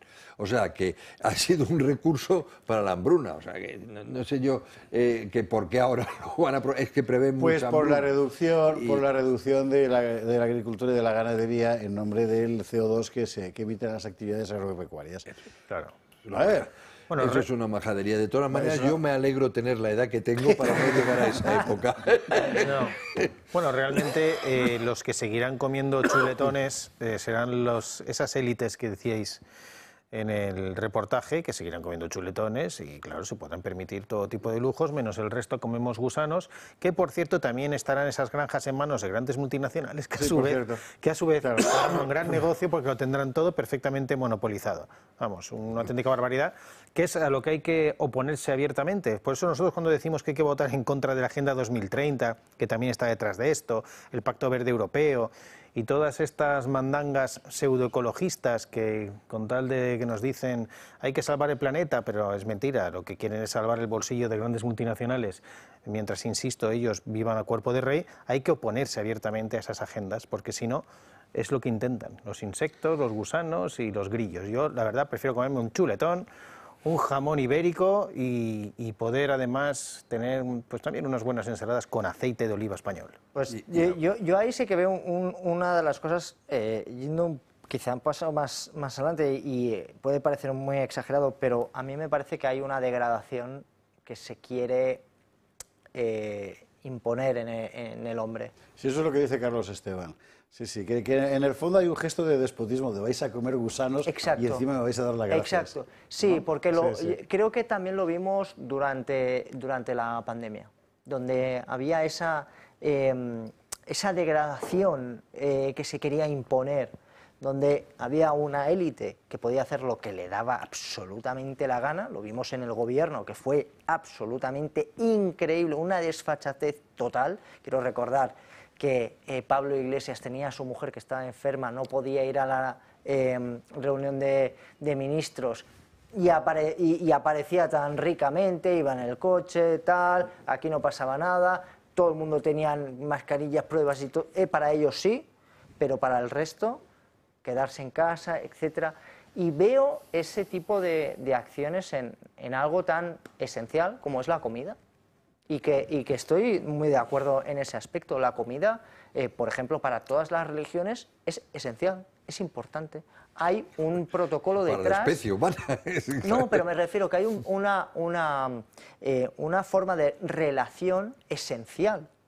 Y eso, eh, especialmente para los europeos, pero en más particular para los españoles, eh, reunirnos a una mesa es algo esencial. A comer grillos, yo es que no lo veo. ¿eh? Bueno, pues eso se es intenta. No, yo- yo en, es que no- en eso se intenta imponer. Sé que a Ana Angelova le no gustan los grillos. A Ana, a Ana Angelova le, le gustan. Ana, por Dios. Le gustan porque yo lo vi y de hecho tengo pesadillas desde entonces. La vi, la vi aquí comiéndose unos grillos aquí en esta misma mesa. Entonces, yo, creo que, además bueno, es quien ha hecho el reportaje se le veía con ciertas. Lo hacía, yo creo que convencida. Tenía- Ahora, ahora, ahora, Le estaba ahora se lo dando apetito. ¿no? Ahora se lo contaremos. Grillos no he comido y me da no sé qué, pero escorpiones sí, en China concretamente. Y después, oiga, no hay ninguna diferencia entre comerse, lo que pasa es que no está particularmente rico, carne de pitón de, que, que de comer anguila, ¿eh? Yo O sea, creo que la cuestión no es nutricional, sino que es fundamentalmente cultural. O sea, forma Pero parte yo de la no identidad. creo... Sí, claro, el conejo no Ah, se come hombre, hombre, No veo hombre, ahí en esa o sea, conspiración y de la- gastronomía. No, yo no, veo, yo no veo conspiración ninguna. Yo lo que digo es que eh, una parte fundamental de nuestra identidad colectiva es lo que comemos. Lo es. Hombre, y Lo por es. supuesto. Y libros es de forma- muy eso. del- Es una forma más de deshacer nuestra identidad, Y, efectivamente. Sí, sí. y- y a mí lo que me toca las narices es que venga un moderno y en nombre de que en el futuro habrá mucha gente, ¿verdad? Y no podremos comer. mm, Ya no te digo un chuletón como Pedro Sánchez, tortilla de patata. Sí, ¿verdad? Claro, En fin, eso, eso- eso ya es otra cosa y es horrible y nos lo han hecho con el tabaco. Es decir, También. lo que vengan a prohibir, eso, eso ya, eso, Sí, de entonces cojo el Kalashnikov. Decir, eso sí. Vamos, que no me deje a mí comer un chuletón o, o Hombre, unos pues, pero, la, pro- vamos, que- pero que- la prohibición, para, para la izquierda, la prohibición es. Ah, no, no. eh, Su forma de algo, tenemos vamos, el gobierno más prohibicionista Que, que nos de los 30, últimos 100 años. 30, 30 Sí, sí. segundos ya. Joder, qué rápido se pasa esto. Perdón. Sí. Enrique Calvet, Sergio Brabezo, Jorge. Campos, mil gracias a los tres por estar aquí y a ustedes, particularmente al espectador que he escrito diciendo aquí estoy desde el principio del programa, que el partido ya lo veré después en un resumen. Ole. Sí, señor, eso es espíritu. Un abrazo, un abrazo fuertísimo. Que descansen, recuerden, para seguir aquí, háganse socios del club de, del club de, del club de amigos y mañana, mañana más gato. Mañana además con en el Congreso. Ya veremos.